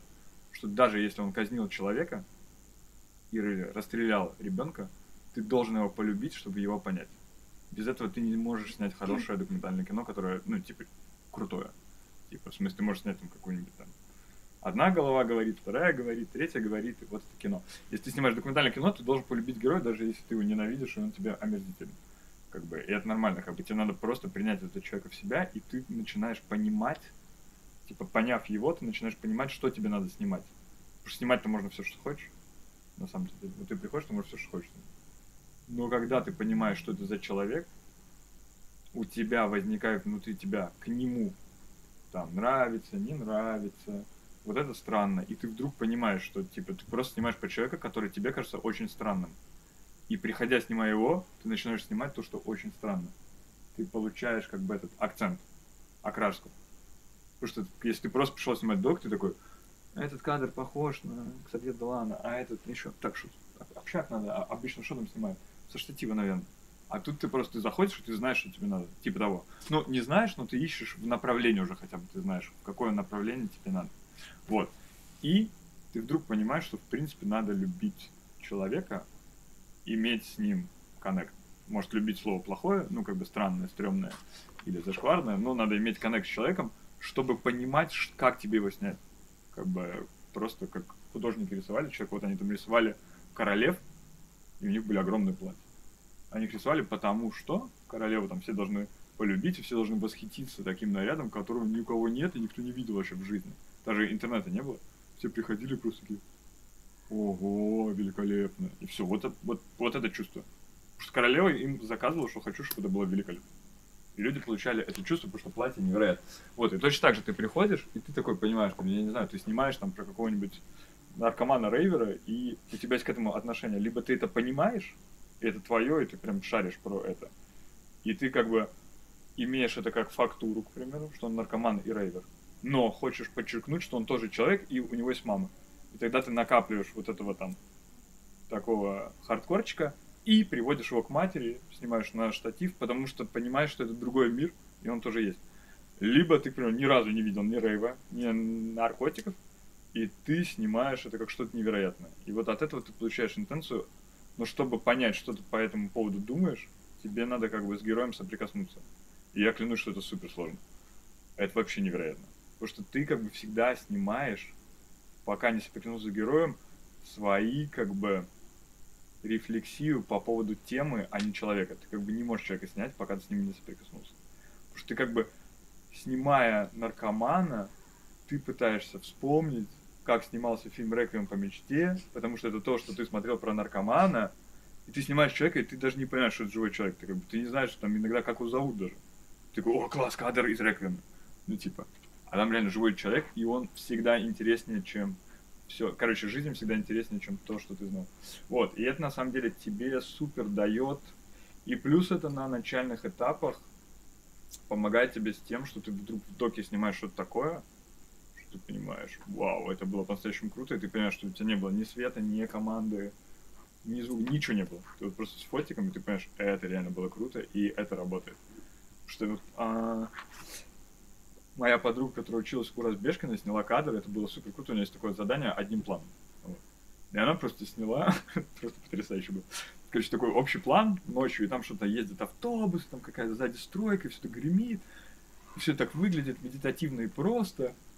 И ты такой смотришь и начинаешь уже такой думать, «М, да, что-то в этом есть, если долго вот смотреть, медитировать. И вдруг ты понимаешь, что на переднем плане, вот прям перед камерой, открытый люк посреди трассы, и просто на 15 минуту, ну ладно, не на 15, но на 5 минуту, это уже когда ты смотришь, уже забыл, уже там просто там телефон листаешь, подумал о том, как день прошел, это такая просто, а картина. Вдруг просто вылазит голова рабочего из люка. Бля, не там вылез. И просто лазит. Ты такой, твою мать, это было супер круто. И ты вдруг понимаешь, что если ты вдруг понимаешь как оператор, что если что-то долго длить, то потом можно шокировать. Или потом можно поменять интонацию. И ты это можешь понять, как бы тебе не надо ни свет, ни там, ну ничего не надо. Ты можешь пойти и это увидеть. И главное, ты можешь понять физически, что это работает. Не прочитать где-то там в книге, которую там или там посмотреть YouTube канал, там где какой-то один оператор берет интервью второго, и тот рассказывает, что вот они в Африке. Ты такой послушал и пошел дальше есть картошку. Вот, а тут ты как бы это берешь, ты это сделал, и ты как бы знаешь, что это работает. И это типа твое знание. И это совсем другое, чем знание. Вот есть знание, а есть твое знание. Это две разных вещи. Возвращаясь к Заткнулся? Хотел спросить. Почему картошку? Из Беларуси. Драники, да. Именно, именно в фильме Троя, там несколько раз вот именно очень яр, ярко и явно сбивается ритм фильма. Ты вроде только погрузился в историю, начинаешь в ней жить, играть, ты привыкаешь к 4 на 3, э, к, к этой всей истории. И тут бам! То есть ломается история, когда у него начинается, он начинает косячить с этим рэпером Хабенский, И вот это тоже отвлекает, ритм прям сбивается фильм. А второй момент, когда они уже тоже, тоже расслабон, расслабон, в фильме история прям течет, и бам, они попадают в пробку, вот это вот сразу бум, резко остановились. А, скажите, это вот э, ваше привнесение или это Мил- Милитян? То есть вот когда вы про, про рабочего рассказывали, что раз он из люка вылез, ритм сбился, или Слушай, я точно Анна, или помню, другой? что... На самом деле, там еще три, вот третий, я честно скажу, мне... Короче, ладно, я не буду. Короче, есть один, который мне нравится, вот пробка, мне он супер нравится. Сбивка вот эта. Да, сбивка. И она должна была сместить, как бы, это такое, знаешь, это как, типа, вот идет круг, и есть точка невозврата, когда ты, типа, назад уже не, не откатишься, и начался новый круг, типа, там, вокруг. Вот есть новый круг, как бы, что внутри, до того, как про, про- произошло вот это, люди, как бы, могли еще, поговорив, решить. Но, как бы, дойдя до какой-то черты, когда ты там, я, я не знаю, думаешь там про другую девушку, но не изменяешь еще, это тот момент, когда еще можно там со своей женой, к примеру, решить. Но вот если точка невозврата, когда ты, к примеру, уже переспал, как бы можно еще решить, но сложнее уже гораздо. И это вот таких три вещи, и там третье у него, вот с пробкой мне супер нравится, с, а, с рэпером я там по себе недоволен, и в принципе мне не так нравится. А еще есть третья, где он кричит в камеру в какой-то закусочной. Да, да, да. Вот, это такая же точка, третья точка.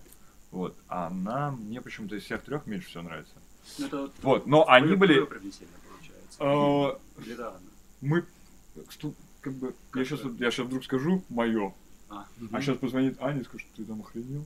Я, я к тому, что это шутка, я не помню, честно, А. но мы обсуждали, что там это надо. Что там эти вот как бы рэперные точки, они там нужны. Кто это придумал, ну, как бы там все реально говорили, придумали все и записывали, и потом обсуждали.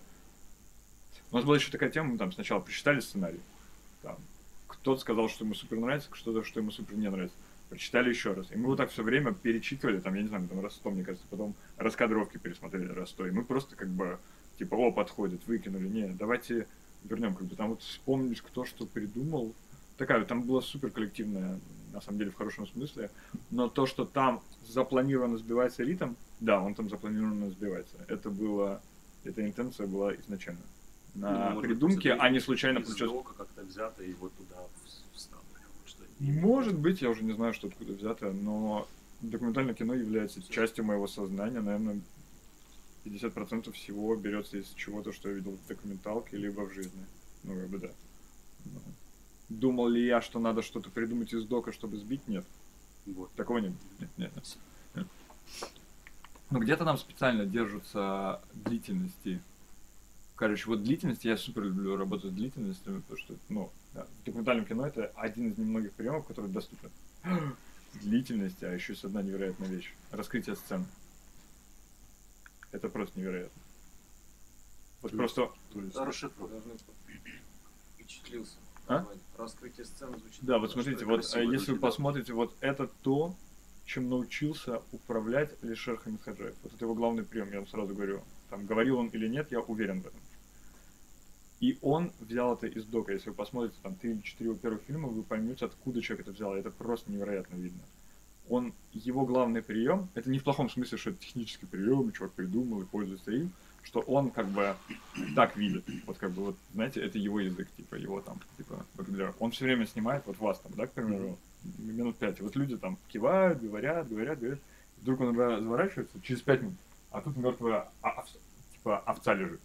И ты как бы мозгом перестраиваешь то, что ты видел. Не было кадра, что люди, овца. А было ощущение в голове, что все это время я смотрел на людей, которые, оказывается, смотрели на мертвую овцу. И ты как бы...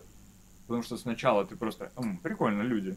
И ты как бы думаешь одно, а потом внутри этого одного перестраиваешься на другое. И вот это круто работает. Вот это прием, как бы.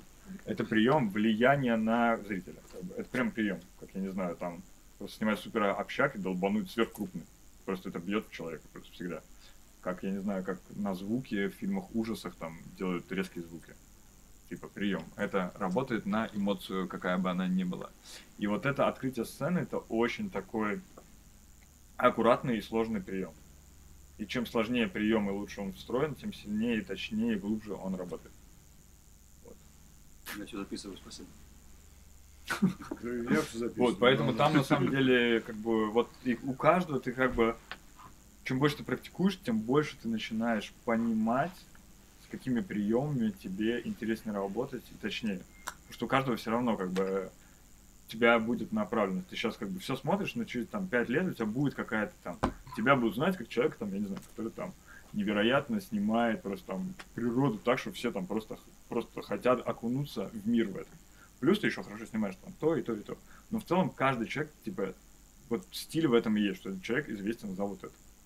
Как бы, и это нормально, что ты вот... И, короче, в доке очень просто искать какие-то вещи, потому что ты на самом деле пришел, снял, посмотрел, такой, ой, прикольно, либо, ой, не прикольно. Тебе не надо страдать полгода, обсуждать с режиссером, чтобы потом заказать список, который тебя обрежет наполовину, потом две смены перенесется, одна локация слетит, оказывается, что вы уже выбились из бюджета, один актер заболел, шмотки не приехали, все по цветам другое, гафер пьяный, э, половина приборов не включается, и ты понимаешь, я этого полгода ждал, и типа, окей, как бы, а, ну ладно. Веселенькую картиночку нарисовал. А вы еще не снимали. Но у вас все будет по-другому. Но я имею в виду, что как бы круто учиться докам, потому что затраты, ну как бы в прямом смысле как бы это... И ты как бы, считаю тебя, если ты не вмешиваешься в людей, то это очень хорошие актеры всегда. Они реально живые. Чего всегда от актеров и добиваются, на самом деле, в жизни. Они уже живые. Ты их снимаешь, они уже живые. Но если ты как бы не супер вмешиваешься в пространство. Это называется зона змей у размешканной. Посмотрите, если не знаете, что это такое. Зона. Зона змей. У каждого человека есть зона змей. Это зона твоего комфорта. Я не могу сейчас сесть к тебе на колени, скорее всего. Ты почувствуешь себя некомфортно. Это Ну, твоя это зона змей. точно. Это твоя зона змей. Вот, поэтому такая история. А? Я норм. Вот, но я к тому, что это такая интересная история. Ты должен учиться понимать, где у каждого человека, у героя есть его зона змей, как бы куда-то заступать. Ну, типа, можешь, но Но только... Разбежкина считает, что пока ты на эту змею не наступил, ты как бы слабак. Не-не-не, это выход из комфорта. Нет, зона змеи это как раз та зона, куда человек не пустит никогда. И что ты Но можешь только спугнуть. до нее дос- дойти. Да, но ты должен. Нет, а ты всегда Ты как поймешь. бы Нет, если ты снимаешь человека, ты поймешь. чувствовать. Нет, человек тебя укусит всегда, и ты поймешь, что а, я перешел в зону Значит, змеи, да. типа, Да, да, да, да. Но на самом деле идёт. иногда это можно делать, когда ты понимаешь, что тебе надо получить от человека, от героя другую краску. Иногда ты реально можешь поссориться с актером, это плохо, но ты это можешь сделать, если тебе это надо. Как Если, прием. если он душка, да, ты хочешь, чтобы он был супер злой. Ты реально делаешь что-то неприятное, и он реально, у него окраска, он реально просто злой. Хотя он злой на режиссера, который чмо, но в кадре никто не знает. Только психотерапия какая-то начинается. Конечно. Блин, да все, психотерапия, вы сидите, он там кто-то спит, кто-то в телефоне. Все психотерапия. Вы сезон- уже можете все. Когда я зоной змеи занимаюсь со студентами, я их всех всегда обижаю, а они потом через два года, когда заканчивают, думают, ах, вот что он в виду. И при- приходит уже защитить диплом. А какие у вас, мне интересно, а можно я у вас спрошу, какие Да, у вас вот. сейчас главные проблемы, с которыми вы сталкиваетесь? Вот сейчас. Вот как интересно, я срочно послушаю. Так, Коммуникация с Нет. режиссером. Ага. А еще что? Давайте, у кого есть проблемы с коммуникациями с режиссером, вот из вас. Ага. Ну, это подняли руки. не довольно распространенная Не, не, проблема. не. Сейчас Они расскажу. как раз стали снимать, у них первая работа А, а у некоторых ребят еще не было. Нет. А, я понял. А еще какие? Коммуникации с режиссером. Вам надо всем ехать? Я могу, в принципе, Не, на самом деле попрощаться. Если надо. А. На самом деле тоже есть вопрос, который предвосхищает твой вопрос к нам. И а, ты говоришь, что не очень любишь вымучивать кадр в плане света. Правильно? В принципе, я очень не люб... я не очень люблю вымучивать, что бы то ни было. Это касается и даже моего отношения к жизни. Это не как, это не только про свет. Я не считаю, что свет это не так важно, как режиссура. Нет, все важно, просто я имею в виду важно, sorry, важно расставлять акценты того, что по-настоящему важно. Типа, как знаешь, если завтра вставать в 6 утра, очень важно не бухать и лечь раньше. Ну и еще там еще миллион других вещей тоже важно. Но по факту ты просто как бы должен понять, что как бы... Потому что если тебе, вот как бы, если, к примеру, там, к тебе приходит режиссер, да, и говорит, я хочу снять вот кино, и оказывается потом, что это кино, фильм Са- Саулов. Вот я говорю, что лучше больше денег потратить на стадикамщика хорошего, чем на свет. Если ты не можешь потратить на то и на то. Потому что, вот я тебе говорю, просто, я не знаю, вы уже работали со стадикамщиками вообще? Как бы Есть люди, которым ты просто, ты хочется оторвать этот стадикам, просто этим стадикамом убить его, и потом бежать с ним и снимать самому, потому что ты не можешь человеку объяснить. Как бы, потому что, типа, вот я, к примеру, говорю, там, просто следуй за человеком, да?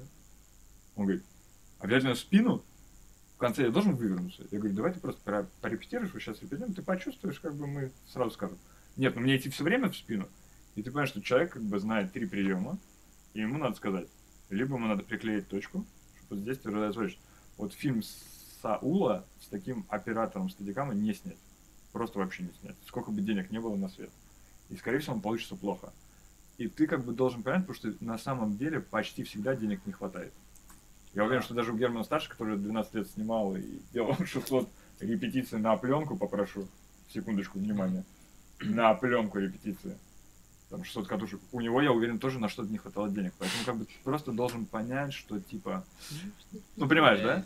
Что типа это важно, а это в принципе как бы круто, чтобы было, но в целом как бы...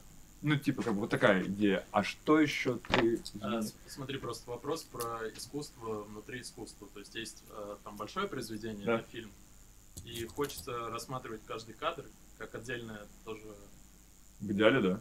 произведение. Да. И, ну, просто мне кажется, э, э, где-то грань, когда это становится проходным кадром, и Это хороший вопрос. Тут ты сам себе цензор, да. Я тебе советую, в принципе, то, что тебя потом будет позорить, не снимать, но советую делать это честно. Прям говорить режиссеру, что, чувак, сори, это просто, ну, или там, чувиха, или... Как бы это не... Я как бы, я реально, ну, как бы, типа, я не буду спать, если так случится, реально, там, я сойду с ума, мне надо там ходить будет к психотерапевту, если вот это вот так встанет в фильм. И на самом деле человек, когда ты ему говоришь, поймет. Но если ты как бы... Короче, главное просто честно говорить, просто на самом деле. Как бы оно в первые там, разы всегда как-то типа странно и неприятно, но потом как бы вы находите общий язык. Потому что если человек тебя услышит, что это прям зашквар, это ну как бы позор. Там, она либо он же тоже хочет, чтобы это было хорошее кино. Если она понимает, что, к примеру, там звук такой плохой, что не будет слышно человека, на что же звукорежиссер скажет, так, поняла. Просто главное объяснить, что как бы, ну, это уже как бы, ну, через край. Но если ты понимаешь, что сейчас как бы, ну, короче, вот это вот грани как бы, но еще сразу скажу, я очень рекомендую не пытаться сделать каждый кадр гениальным. Надо на самом деле понять ключевые кадры, и как бы чем у тебя выше как бы вот эти ноты, тем круче эти амплитуды, как и арка героев. Иногда они должны быть скучные, иногда они как в этом Большой Любовской, они должны сидеть и курить просто и тупить, чтобы потом следующая сцена работала. Точно так же в кадрах. Ты как бы должен понимать, что здесь вот это просто должно убить человека. Но если ты в каждом кадре 50 минут будешь его шокировать, то человека шокирует только то, что ты не шокируешь его дальше. Потому что он уже настолько привык. Это как ты рекламы смотришь, ты на самом деле рекламы смотришь, и такой, о, это либо Сбербанк, либо там тачка какая-то сейчас, там, либо Вольво, либо Сбер. А, Сбер, ну понятно. Как бы ты даже там, а там же на самом деле, если разобраться, там, ну, типа, реально стараются очень сильно. Как бы, а по факту это уже так, на одной ноте, правильно и круто, что ты смотришь и такой, типа, а, понятно, реклама. Вот, поэтому на самом деле лучше, но это все,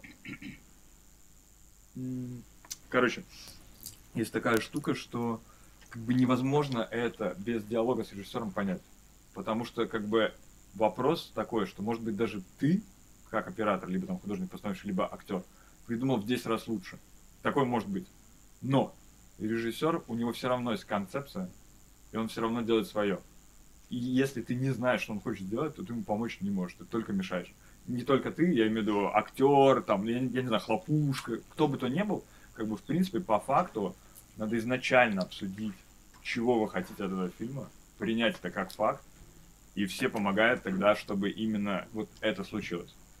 Там вот как фильм «Пыль», я вот уверен, там просто хотим же трэш был. И это прям случилось, реально круто вообще. Как бы, а если бы там человек пытался бы эти кадры там просто выстроить, то это бы точно даже, мне кажется, до конца бы не сняли. Мне кажется, началась бы драка на 30 дней и все. Ну, я, к примеру, говорю, я не говорю, что надо снимать как пыль, там, плохо специально. Я говорю, что надо понять вместе еще лучше до съемок, гораздо до съемок, что вы вообще на самом деле хотите. Вдруг там, просто иногда оказывается, что человек там 15 дней снимает, и иногда, типа, там, актер говорит, ой, я думал, что мы снимаем драму. Режиссер говорит, не, комедию. Реально такое бывает. Просто, ну, вы сейчас смеетесь, такое реально бывает. И это как бы, ну, а вы вообще должны, в принципе, знать, что вот там, хочу, чтобы человек в конце плакал, либо хочу, чтобы человек вышел из зала и обнял свою дочь. Это, типа, это задача, это нормально. Типа, ну, как бы, это разные задачи, И тебе кажется, что лучше, чтобы обнял дождь. Второму кажется, чтобы лучше героином там, типа, кольнулся. Третьему, чтобы что-то еще. Но вы должны, чтобы у вас эта идея была одной. Все. Тогда будет гораздо круче, чем в любом другом варианте. А если- Даже если будет плохой свет, плохая драматургия. Иногда бывает, что даже драматургия плохая, но, к примеру, актер настолько вывозит, потому что он знает, что ему делать. Не потому что он просто хороший актер. На самом деле актер, он всегда, ну, как бы, вот не даст собрать человек, актер, он как бы, пока ему не скажешь, что делать, он как бы просто во все стороны. Просто через три секунды ровно он такой. Как бы из него просто прет все. И как бы ему нужен человек, который скажет, очень круто, но тут надо молчать, потому что, типа, ты сейчас думаешь о том, что произошло в предыдущей сцене. И чтобы он не хотел сделать, ему надо реально сесть и курить, просто ничего больше. И пока режиссер не сказал ему это, он как бы, ну, Да. не, не то, что он глупый, это как бы не вопрос, что типа режиссер должен быть умнее всех. Вопрос в том, что все должны договориться и делать одну вещь. Лебедь, рак и щука. Шах и мат. А если не Поговорка договорились, лучше не работать? А? Если не договорились, лучше не работать?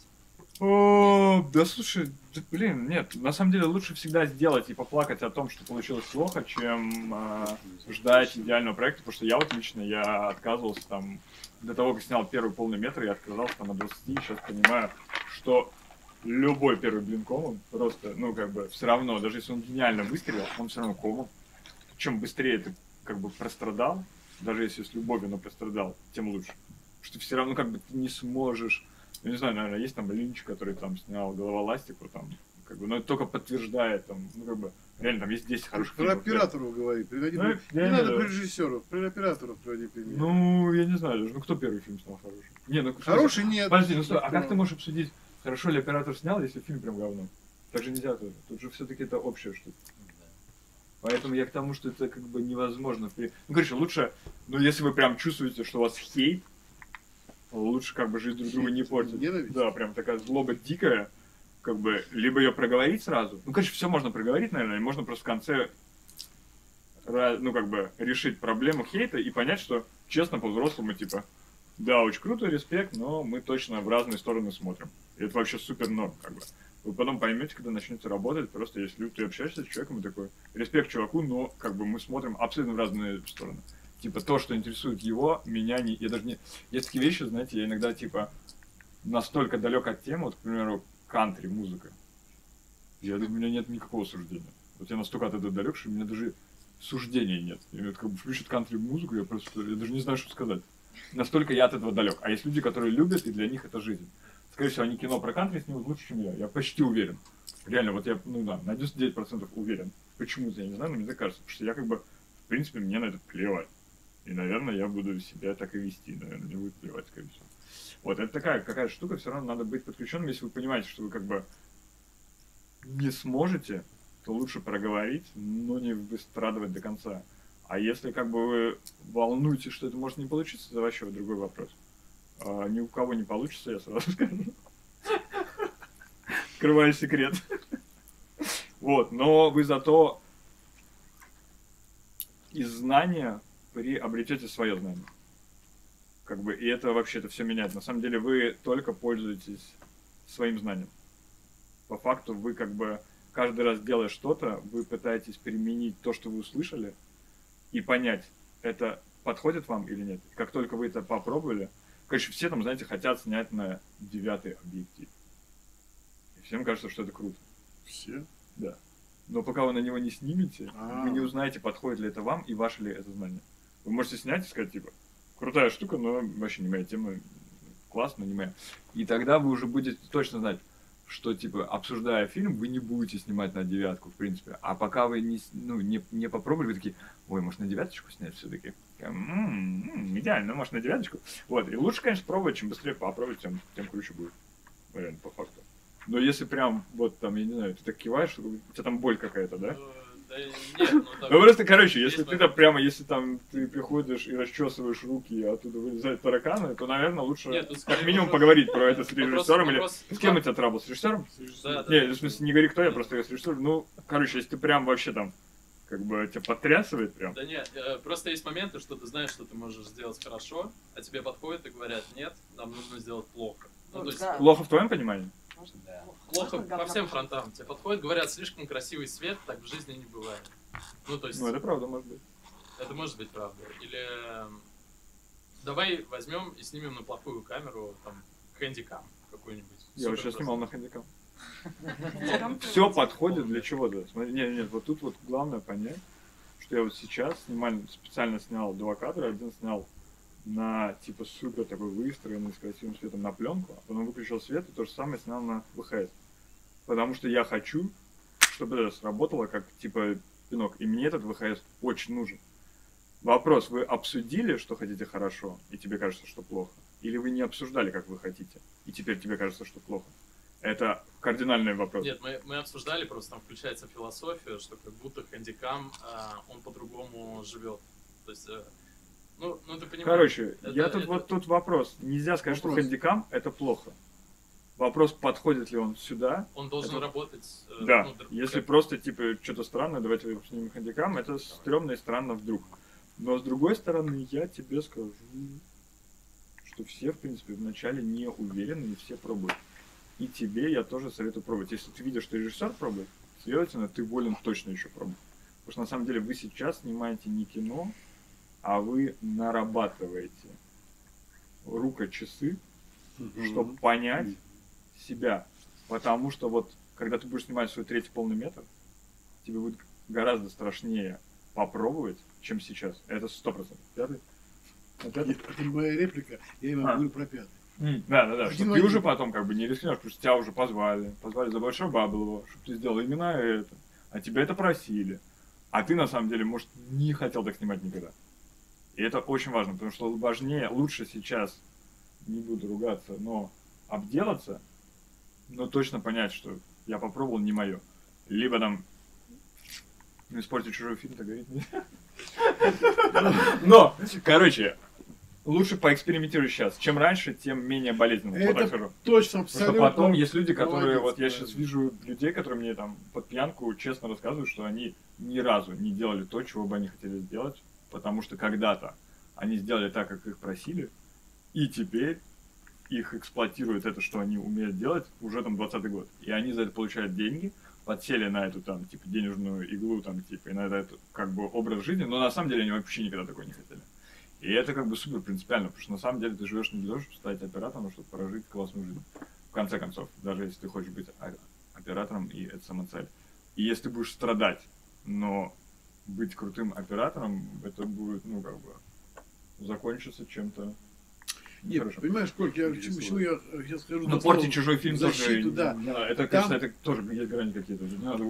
Эксперимент, который он говорит, и который многие режиссеры хотят услышать и увидеть на площадке сразу, иногда переходит грань технической дозволенности изображения. Такое есть тоже. Я вам скажу, почему это происходит. Но вы на самом деле должны понимать, что я сейчас, вот если я пришел бы на площадку вашу, я уверен, что там нет ни одного уверенного в себе человека, не потому что вы там, ну, типа, лохи, а потому что реально первый раз ты всегда не уверен в себе. И это нормально, просто надо давать себе отчет, что там режиссер также не уверен в себе, как там оператор, так же как актер, и так же то. И режиссер знает, что вдруг может появиться жизнь, если сказать, давайте весь выключим свет, никто мешать не, не будет. Да, Ты все возьми хэндикап. Да, и я понимаю, почему он говорит.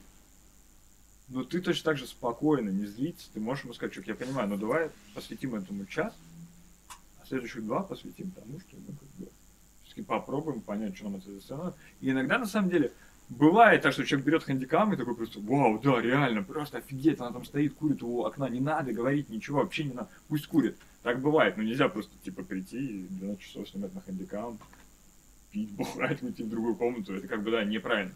Но я к тому, что вы должны, я просто знаю по себе лично и по всем своим друзьям, что операторы, и, нет, так скажу, все люди, кроме режиссеров, они приходят после первой смены и говорят, он вообще не знает, что делает, он просто, он не понимает. И на самом деле, я вам скажу, приходит режиссер, Режиссер и говорит, он вообще не ну знает, и что группа, снимать, да, они не группа, знают. ужас И вам какой. надо просто признать, то, что так есть, и поговорить про это, и понять, что вы не умеете делать, и это нормально. И вы не научитесь, как бы нельзя прочитать книжку и научиться делать. Потому что вы как бы, ну, типа, трогаете, пробуете, как, типа, закрыть глаза и трогаете, кажется, шарик. Ну, типа того. И это нормально. Для этого все это сейчас и происходит. Чтобы вы научились, типа, трогать, брать и сказать, это шарик, это, там, это, это кулак. Если свет не включишь, ударю. Шутка плохая. Нормальная шутка. Вот, да, но я к тому, что, но везде есть как бы эта грань, я имею в виду, как бы, когда ты зашквар, ты зашквар, ты можешь честно сказать, потому что ты как бы на самом деле участвуешь в процессе создания творческого продукта. Тебе как бы не заплатили миллион за то, что ты тут плясал, и ты согласился, подписал типа договор, я там соглашаюсь голым плясать, как лох, как бы ты на это не соглашался. Но тоже, типа, просто унижать человека и говорить ему, кажется, ты не знаешь, что делаешь.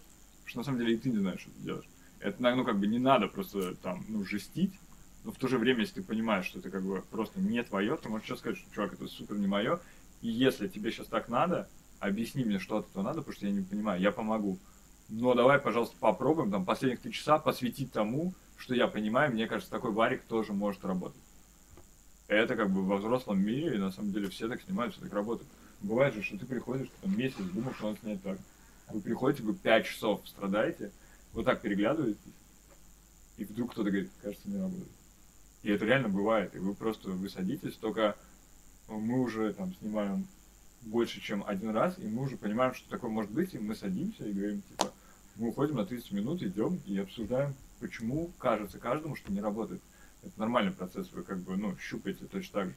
Как бы, и вот обсуждаете, каждый предлагает что-то. У нас была сцена, которую звукорежиссер решил. Каждый предлагает что-то. Да, Очень хорошая да, фраза. да. Но, Каждый но нельзя предлагает. кричать или там вычить, или там обижаться, потому что это на Или самом обижать, деле... что ты дурак. Да, да, да, да. Не На самом деле просто норм сказать, типа, ну, только главное, о, самое главное, вообще главное, чтобы есть такая штука, что площадка, она ловит энергетику. Чем больше людей на площадке, тем больше эта энергетика быстрее передается людям. И если вы с режиссером при людях начинаете хоть как-то, не знаю, не матерного слова, границы змей. Зоны змей. да, собачиться, вот это слово. Моя бы бабушка сказала так же. Собачиться. Если вы начинаете собачиться, то площадка, я тебе клянусь, просто через 5 секунд ловит это, и вдруг все начинают вести себя вот так вот. Хлопушка подходит тебе. И это просто мгновенно. И все начинают понимать, что на самом деле, а чего мы тут напрягаемся, если они не знают, что делать. И все начинают вести себя вот так. Поэтому, что бы вы не хотели обсудить, мне один оператор, не буду говорить, кто, сказал, что если ты хочешь сказать что-то типа гаферу своему, ты отводишь его и бьешь по лицу. Ну так, чтобы никто не видел. И это как бы, ну, типа грубые примеры, шутка, но смысл в этом, что никто не должен знать, кроме вас, что что-то происходит не так. Не потому, что это там тайны, потом в газетах расскажут, а потому что, типа, на площадке люди, а особенно актеры, если это хорошие актеры, они так или иначе ловят, типа, энергетически, они тут же подключаются. Все вдруг начинают понимать, что все тупят, никто не знает, что происходит, все начинают нервничать, а потом вдруг они согласились участвовать в говне. Тут же. И вы, как бы, мы, я сейчас не буду рассказывать с кем, но мы уходили с людьми просто там до драки. Обсуждали, как снимать следующий план. Но никто не знал про это. Хвалить при всех, рубать наедине. Да, да, да, это правда, это как бы не шутка, это просто вы увидите, и особенно чем больше площадка, когда у вас 100 человек, это просто вот там, типа, одно слово сказано, все. Типа, и реально, а потом тратить 15 дней, чтобы вернуться. Типа, поэтому все с улыбочками было круто. Хочу кое-что спросить. Но за дверью, ну реально как бы. И поэтому как бы, но вопрос обсудить, что происходит, и ты как бы реально честно вообще можешь сказать, типа, я всё- Так, я начинаю дальше раскусывать. Девочка режиссер? Да. Все понял. Я не, откуда я знаю. Я просто говорю. А, Не, я просто типа молдавин. Женщины, женщины. Да, просто прикольно. Прикинь, так. Ну, Не, я просто потому что... а, Сори, да. Просто в в твоем рассуждении все очень правильно, кроме одного. Они не могут сейчас разойтись. Это учебные упражнения, они должны эту работу снять. Не, вы должны закончить, наверное, к тому, что, смотри, ты супер честно, вообще, вот, вот как бы, например, ты режиссер, да? Ты мне говоришь, чувак, давай сейчас схватим, как бы, камеру, приклеим ее к этому стулу, вырвем стул, и ты будешь ходить со стулом и снимать со стула. Я как бы застремаюсь.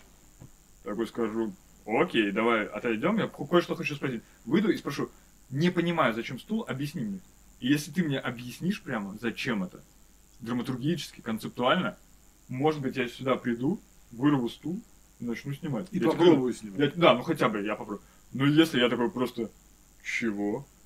Типа мы выходим, и на самом деле ты можешь сказать, чувак, честно, мне так стыдно, я не знаю, что снимать, поэтому как бы, я вот придумал такую штуку, я скажу, а, чё, давай остановим смену, что мы точно ничего хорошего не сделаем. Сейчас час потратим на то, что там ты, я, там, не знаю, еще там сценарист, актер, выйдем и обсудим, почему не работает. И это нормально абсолютно. Так все делают, взрослые дяди, тети. И так, я любой. Не было такой режиссера, который пришел и такой, ну, есть, наверное, супер плохие, они все так делают. А так, ну, как бы, это всегда поиск. Но на самом деле, просто взрослые люди, они уже умеют, как бы, честно сказать, но так, чтобы, я клянусь, не должна площадка. Вот просто не должна. Потому что люди, на самом деле, им кажется, что вы создаете магию. Как только, потому что что бы ни говорили эти люди, я там работаю рабочую, мало платят, вообще это кино. Просто. Когда вы выпьете с ними, они рассказывают, что они обожают кино. И первый раз, проезжая на такси, увидели съемочную группу, и все так странно выглядит. Все просто в кино, потому что им нравится кино. Клянусь. Даже рабочие, которые там. Да, все там. рабочие. Да. Только рабочие. Не, я говорю, что просто все хотят быть в кино. Но они хотят иметь ощущение прикосновения вот к этой магии. Как только они понимают, что магии тут не происходит, а вы не знаете, что делать, они такие, подождите, я 12 час держу вот этот флаг. А мы говно снимаем? Ну, тебе в следующий раз этим флагом, когда проходишь, просто даст по голове, тебе клянусь. Или уже пошел пить, как бы, пока вы там решат тебе собачки. И это, ну, как бы не шутка. И это такая штука, независимо там, какой жанр, там, за деньги, за бесплатно, арт, не арт, там, продажное кино, неважно. Это работает везде. Площадка не должна знать, просто не должны знать. Вот тут реально э, психотерапевты говорят, что можно выносить ссоры из избы. Мне кажется, что в кино лучше не выносить. Именно вот понимание кино лучше не выносить. Пусть это остается там, у вас там свои семейные отношения, вы отошли, перетерли. Ну просто надо честно говорить, что типа, чуть я не понимаю. Вот что там там, типа, вы снимаете, просят тебя. Мы уже сняли все. А, ну, к примеру, я там говорю, там, что там тебя просят там снять только, чтобы горела одна свеча. И ты там человеку говоришь, там, типа, не видно ничего, просто все кипит, да? Ну, типа того, да. Да, но ты, как бы, наверное, типа, злишься, но снимаешь свечу. Скорее всего. И так делают все, это норм. В первой работе все так делают. И режиссер злится, что там что-нибудь, но продолжает делать плохо. Это нормально. Если бы вы там остановились, ты бы сказал, типа, давай сейчас, типа, еще две, там, два кадра снимем, чтобы все думали, что все хорошо, а мы пошли обговорить там следующую сцену, которую только что придумали новую сцену. И вы ушли на час. Если бы вы сели, эти кто поговорили, ты бы сказал там, слушай, давай, это прикольно. Ну, как бы, это технически не- не- невозможно. Как актер говорит, я не могу воткнуть в себя нож, если он не бутафорский. Это технически невозможно. Это реально так и есть. Он не может воткнуть себя нож. Вот. И вы начинаете искать Может, решение проблемы. А? Может, на дублей мало. Да, но вы начинаете искать решение проблемы. И это нормально. И ты просто говоришь, слушай, давай такая история, тогда доснимем кадр, что как будто лампочка все время. И вот он берет эту свечу, подносит к себе, смотрит на нее, и через 3 секунды снова зн-зн, и потом отключает свет. И все, и это нормально, как бы. И тогда можно снимать свечу. Только если это маленький кусочек, захлест. И это нормально, просто объяснить человеку, что он просто не будет видеть. Но это как бы именно в спокойном разговоре. Надеюсь, надо. Снят, снят, сейчас увидишь. Вот. Короче. Смотри. Оба, оба, оба, оба, оба, и упадешь. Кайф.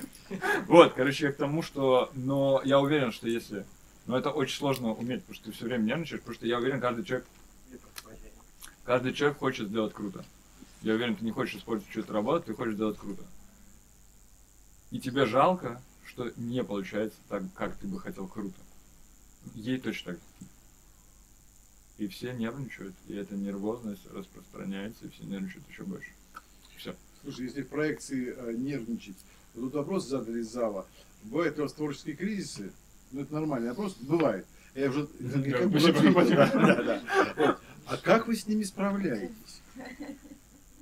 Как я справляюсь с творческими кризисами? Так, Если бы вопрос, Сейчас э, как вы справляетесь, когда напрягаетесь, скажи, а я не напрягаюсь. а, да, да, да, да, да, я просто пытаюсь научиться меньше ругаться матом, поэтому сейчас пытаюсь обдумать ответ перед тем, как начал говорить. Как я справляюсь? Слушайте, да никак вообще. Я думаю... работаешь. А? Не, я просто, наверное, позволяю случиться тому, что случается, если мне плохо, мне плохо. Ну, реально. Там, я страдаю, если мне плохо. Типа, жду, пока это закончится. Ну, что я там не сижу просто, но я позволяю этому случиться. Ну, как бы, как, мне кажется, не бывает того, что ты всегда счастлив просто. Что бы ты ни делал, ты как бы это просто волнами какими-то, в зависимости, насколько широко Вот. А так, на самом деле, ну вот сейчас вот эта штука, которую я снимал, это полностью основано на моем состоянии депрессии, я как бы вот, как это там правильно говорят, дал этому выйти уже в конце концов. Но на самом деле депрессию я решил не потому, что я снял, а потому что я начал ходить к психотерапевту. Но я...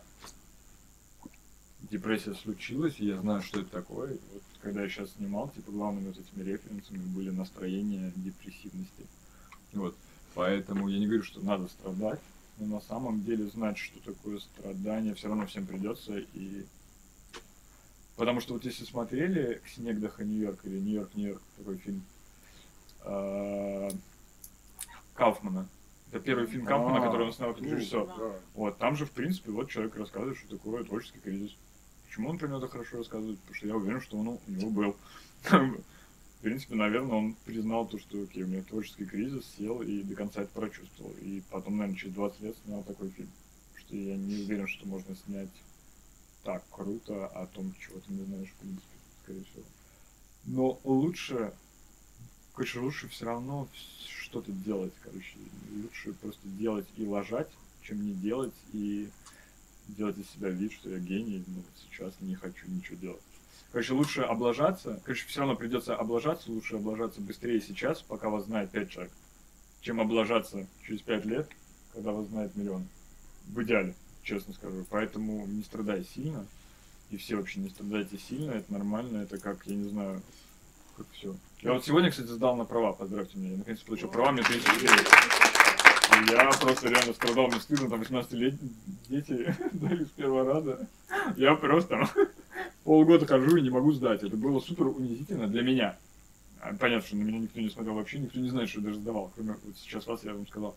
Но я имею в виду, что все равно я рад, что я отстрадал, потому что я уверен, что через год я уже про это забуду и буду ездить на машине Мы по напомним. России. Спасибо.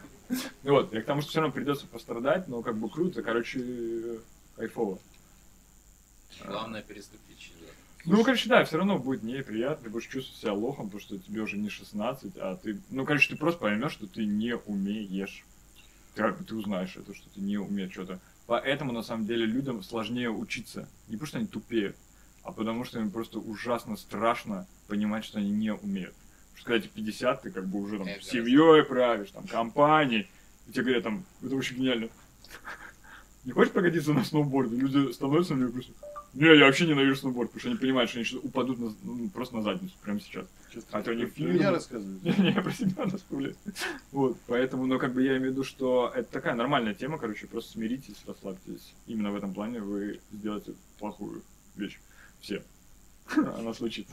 Вам Слушай, будет за нее стыдно. Потом Коль, вы будете смеяться. Замечательно говоришь и даешь рекомендации ребятам. И вообще обычно я спрашиваю, что бы ты еще рекомендовал, но это был формальный вопрос. А давай неформально, просто поговори с ними, что вы, э, какие виды ошибок, а их ну- им нужно совершить для становления. А какие виды, а, какие-то увлечения им нужно пре- преодолеть, побороть, найти в себе, попробовать себя в чем, в чем, в чем, в чем и в чем. Пока они еще учатся, пока они еще молодые. Вот это очень интересная тема. Ну, во-первых, я вам скажу главное вообще, честно себя спросить, какое кино вы хотите снимать. Это самое важное. Оба, да. Нет ничего стыдного снимать суперкоммерческое продажное кино. В этом нет ничего стыдного, если вам это нравится. Я просто уверен, что Филипп Киркоров счастлив. Я просто уверен в этом. Реально, он счастлив быть собой. И ему все равно, что я считаю там его треки зашкварными. Или реально ему все равно он счастлив. Он живет супер счастливый. Есть люди там, типа, как... Например... А? Как версы. Да, они вообще лучшие. Респект. Вот. А, Но есть люди, к примеру, как, к примеру, какой-нибудь там... Вот я сейчас, типа, пересматривал Грангрие. Если вдруг не смотрели, хотите просто офигеть, посмотрите «Новую жизнь Грангрие». Вот представьте Грангрия, который снимают, и просто представьте Никиту Михалкова, который снял последний фильм. Вот я вам клянусь, что и тот, и тот абсолютно счастливы, потому что нашли то, что делают. И это не как бы им все равно, что про них, куда ставят их по отношению друг к другу критики. Реально, я говорю, им все равно. Потому что они нашли то, что они хотят делать. И самое главное, просто не думать там, если тут вам говорят, или не только тут, в любом другом месте, что вот это зашквар, а вот это там круто, как бы вы себя спрашиваете, нравится или не нравится, это самое важное. Потому что вы можете, типа, 10 лет потратить на то, что нау- научитесь делать то, что вам не нравится. Вы вдруг поймете, что вы научились невероятно круто делать то, к чему у вас не лежит вообще. Просто вы вдруг поймете, что вы, типа, научились быть несчастным. И вы в этом преуспели прям дико. Вот, поэтому ничего нормально, как бы, э, я знаю человека, который просто там учился в арт-киношколе, вот сейчас снимает полнометражные фильмы о скейтерах. Он просто ушел из арт-школы и понял, что, типа, мне нравится кататься на скейте, вся эта тусовка. Вот он снял фильм, который там э, где-то на самом деле за открытием будет. Но, как бы, и понятно, то, что не убивает, делать тебя сильнее, и то, что он сходил в арт-школу, это круто, потому что он понял, как кое-что работает, и теперь скейтерские видосы стали фильмами крутыми. Но, если бы он остался бы художником, это был бы, я уверен, просто ужас. Он бы был и плохим художником и страдал бы, я уверен просто. И в конце концов он бы сделал единственную свою хорошую арт-работу, где был бы скейт просто. Я просто клянусь.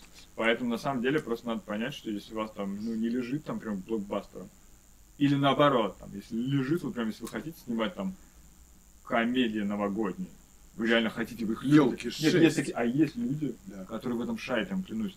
И они назовут вам сейчас 500 офигенных русских старых комедий, которые реально офигенные.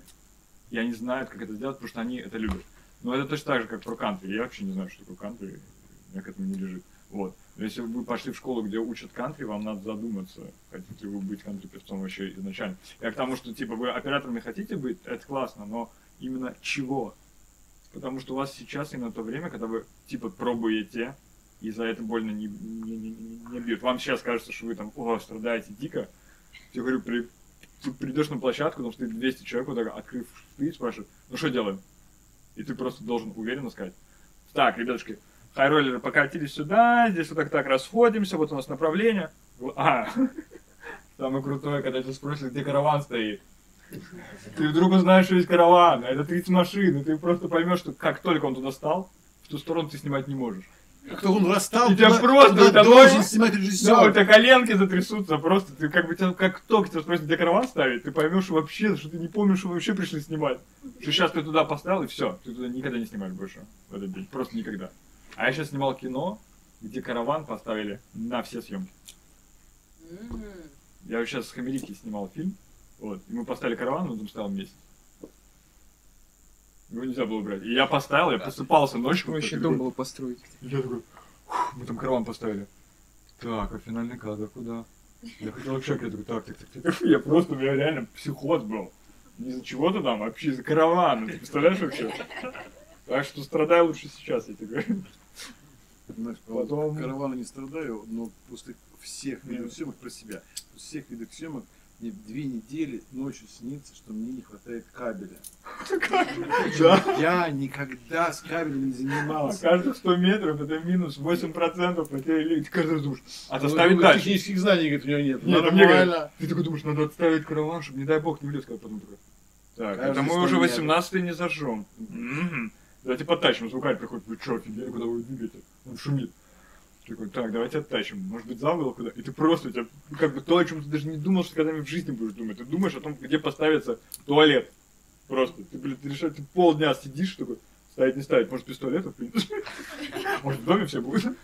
Поэтому это как бы, ну, короче, пока у вас на самом деле гораздо меньше вещей, о которых вам думать, и на самом деле они больше гораздо связаны с творчеством.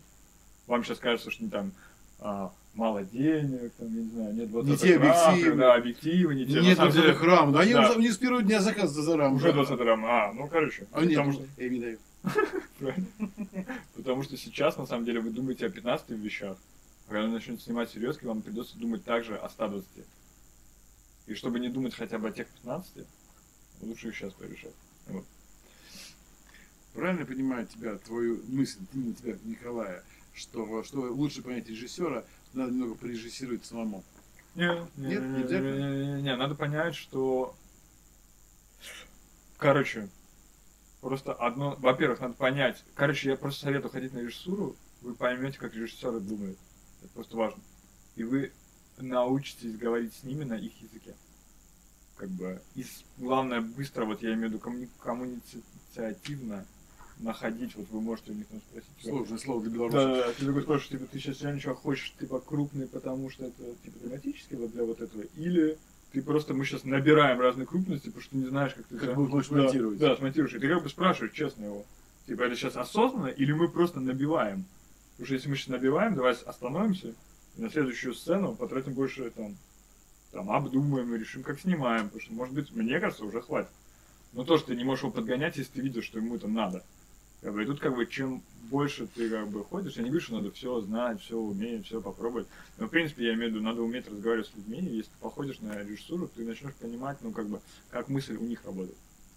Потому что на самом деле, кстати, они гораздо лучше нас, мне кажется, умеют думать в континууме. Потому что вот как ты спросил правильно, хочется, чтобы каждый кадр.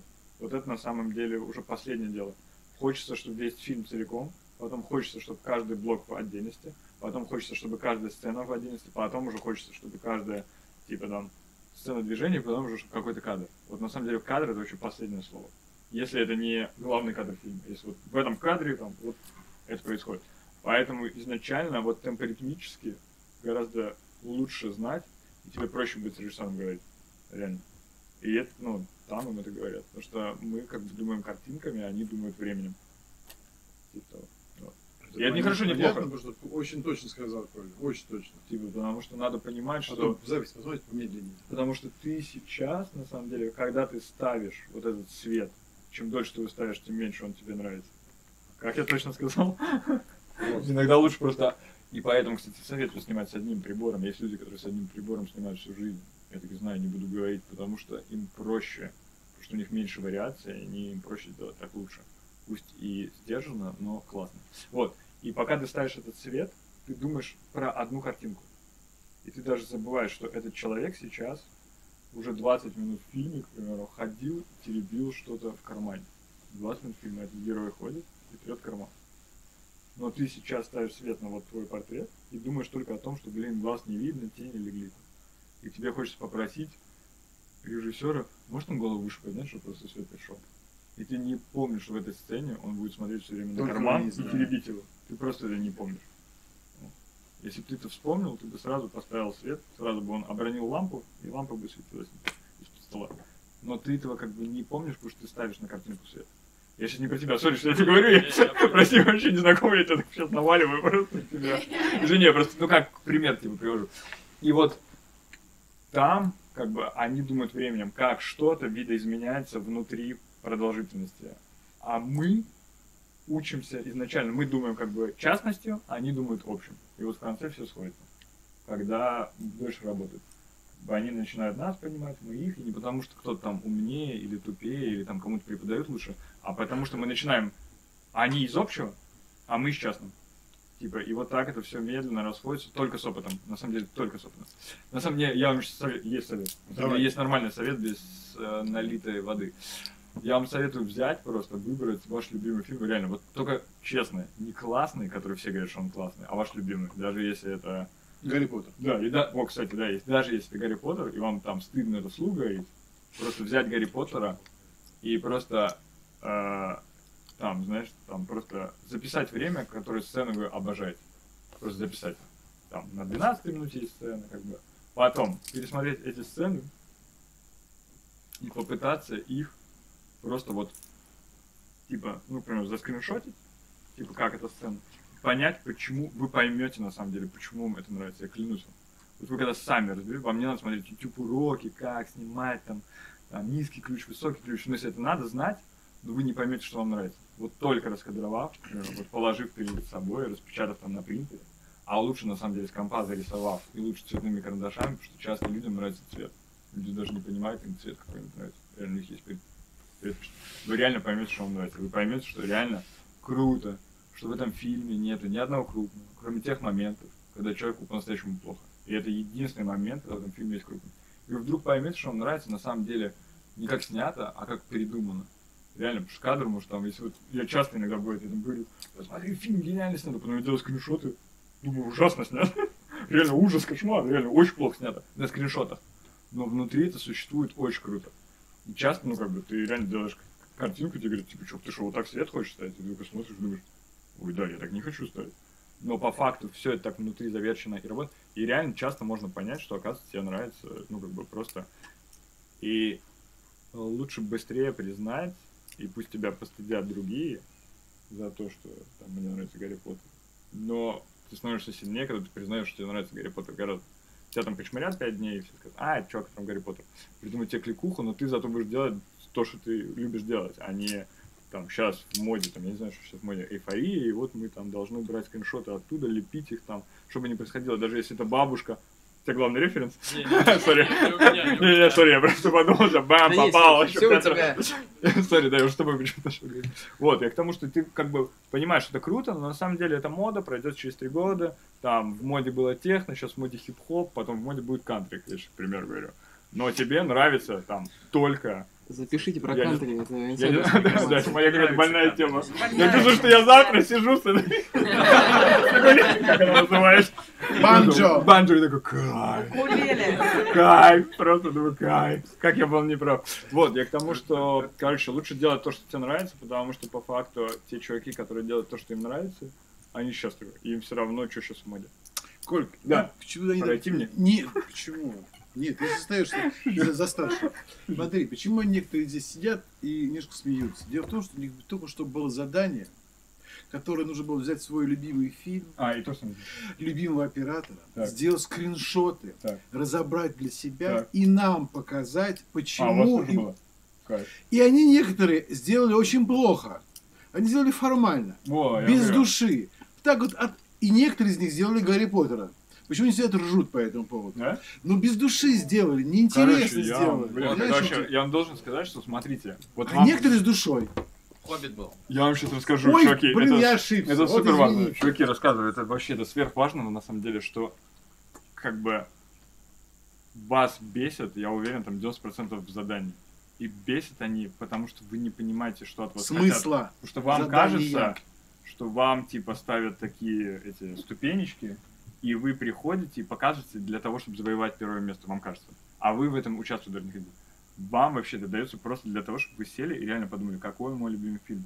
И может вы с ужасом поймете для себя сначала, что вы там всем цитируете Линча, а по факту вам нравится «Крепкий Супер. орешек 3». О, И реально вам нравится, это реально любимое кино. Я втихаря там, когда напьюсь пиво, там смотрю, включаю, думаю, лучший фильм. А сам не Линч, короче, вот там, если мы разберем, между третьей и четвертой работой был невероятный переход, это по-любому у него будет там инфаркт, ну что-нибудь такое. А на самом деле приходите и как бы крепкого орешка. Это для вас, это реально вас никто не мучит. На самом деле важное правило жизни. Всем на вас все равно. Это очень важно. Вы только для себя, ну, типа, страдаете. Как бы и по факту, типа, вам это говорят, чтобы вы реально посидели и подумали просто реально, почему, типа, этот фильм мне нравится. Я уверен, что половина из вас так или иначе имела интенцию выбрать классный фильм, который не зашквар, чтобы перед всеми обсудить красиво тот фильм, выглядите. который вы знаете. И вы не лох, вы знаете, что в 63-м году снималось такое кино.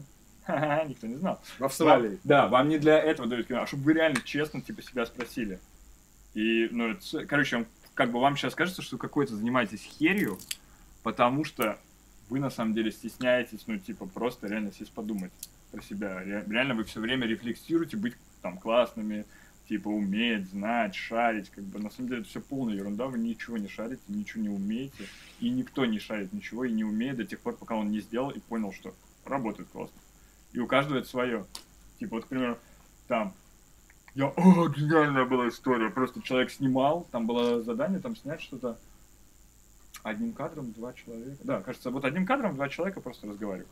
Как бы статика со штатива. Это просто невероятная история. И человек снимал, вот два этих человека говорят, а на столе сидел кот. Он просто сказал, давайте положим кота, чтобы было странно хотя бы. Он пытался выглядеть круто перед сокурсниками. Что типа вот он так придумал, там кот лежит, очень странно. Вот, и это нормально.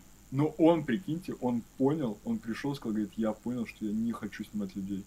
Я вообще, он говорит, я просто понял. Я говорит, мне даже не интересно, говорит, но кот, прикиньте, он реально понял. Он говорит, я просто сидел вот так, давал им еще дубли, и, а сам смотрел на кота и думал, а, сниму кино, кино, где главной роли кот. И он реально, ну, понял, почувствовал, понимаете? Типа, и это как бы задание было не для того, чтобы удивить своих сокурсников, что ваш там вот этот вот маленький ролик, как бы он такой классный, и он там как бы там э, референсом является к фильму 32 года, который никто ни разу не видел, он восстановлен на копии, только я однажды был, а вы все лохи.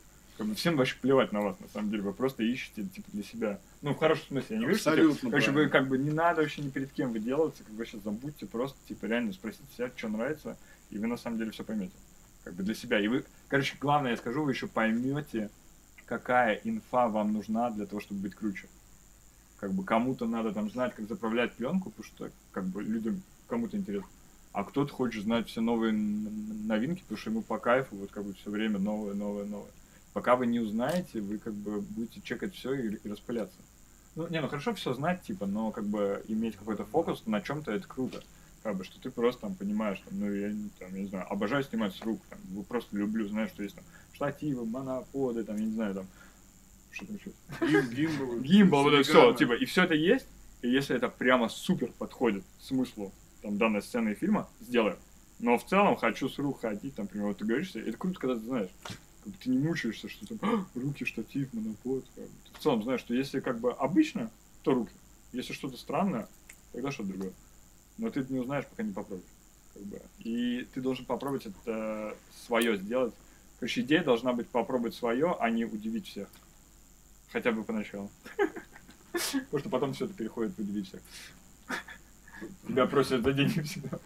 За деньги Тебя всегда просят, типа, на самом деле, удиви. Мы тут слышали, удиви. Но на самом деле, короче, надо просто кайфануть. И на самом деле я спрошу не быть жестокими друг к другу, потому что на самом деле вот это везде, во всех, неважно, как бы нет преподавателя, нет школы, здесь нет страны, а просто люди, здоровая конкуренция, неправильно слово понимается, и все на самом деле, ну, как бы вот эти, знаешь, там, ты там что-то показываешь, а все там слышат Как бы вот не надо, реально, просто вы поймите, вы никто не умеете ничего. Реально. Вам только здесь, внутри себя, кажется, что кто-то лучше. На самом деле вы ничего не умеете вообще. Я сейчас не лажаю, а в плане, что э, ну, вам реально надо типа просто делать и на самом деле и помогать друг другу. И... Потому что я еще так скажу, никто ничего места не займет, если ты знаешь свое место. Реально, твое место никто не займет, если ты его знаешь. Типа, поэтому конкуренции как таковой нету. Есть конкуренция только там, где людям платят деньги за то, что они не, не любят делать. Всем платят, и есть много работы курьеров, и там, наверное, есть конкуренция. Потому что никто на самом деле не хочет быть курьером. Вот. Но оператора, который там снимает только со светом свечи, если ты такое любишь, поверь мне, твое место никто не займет. Даже если ты всем будешь рассказывать про то, как круто снимается со светом свечи. Короче, надо делиться Сейчас опытом. про Симонова говоришь, да? «Грех», да? Я понял, я, я вам позвонил. Хорошо. Ну, Симонов грех спокойно, кстати, спокойно, никто этого места не займет. Да, да. Симонов. Саша, Да, я про то, что, короче, ну, типа, делитесь и не жопьтесь, и не думайте, что вы там круче кого-то, потому что вы среди здесь, там, может, там, кому-то кажется, что это на пол шажочка впереди кого-то. На самом деле вы просто, ну, ничего не умеете, ничего не знаете, ничего не пробуете. Поэтому даже не пытайтесь, ну, типа, короче, не пытайтесь друг с другом воевать, потому что вы тратите время, ну, не на то. Очень проще, если вы просто что-то просекли, со всеми поделиться и рассказать другим. Ну, короче, не там, по-моему, ты ничего я придумал, никому не расскажу. А ты Я всем, знаю, что ты всем все рассказываешь? Да, вообще всем все. Всем все. Всем все. Это э, я прочитал неожиданно совершенно, я точно же. Неожиданно совершенно прочитал в японской философии, это первый признак а, будущего преподавателя. Когда настолько все равно рассказать всем все, что ты знаешь, потому что ты еще придумаешь что-то другое. Тебе не Ну да, нужно прятать свои тайны. да, да, Тайны бы- бессмысленно. Просто уже время прошло, чтобы тебя догнать, еще надо потратить будет время. Ну вот это я говорю, если ты понимаешь, что ты на самом деле работаешь за бабло и делаешь то, что не хочешь, тебе как бы страшно, что тебя кто-то выжмет. Мне абсолютно не страшно, потому что я делаю то, что я люблю и, ну, и хочу. Я уверен, что как бы буду продолжать это делать. Если не буду это делать за большие деньги, буду за маленькие делать. Мне, мне пофиг. Как бы я имею в виду, что это, ну, сори. Что, короче, типа, делитесь и вообще будьте командой, потому что вот мне сейчас, мне прикиньте, 22 человека сейчас на съемках помогли за бесплатно. Типа дали там технику, свет, приехали, помогли. Как бы это супер приятно. Я уверен, если бы я был такой скрытный жопный тип, и там я вот знаю человека, который три года никому не рассказывал, что он снимает на хайспиды, и ему казалось, что это тайна. Ему казалось, что это тайна, что он как бы нашел свой стиль, и никому нельзя говорить, потому что есть хайспиды.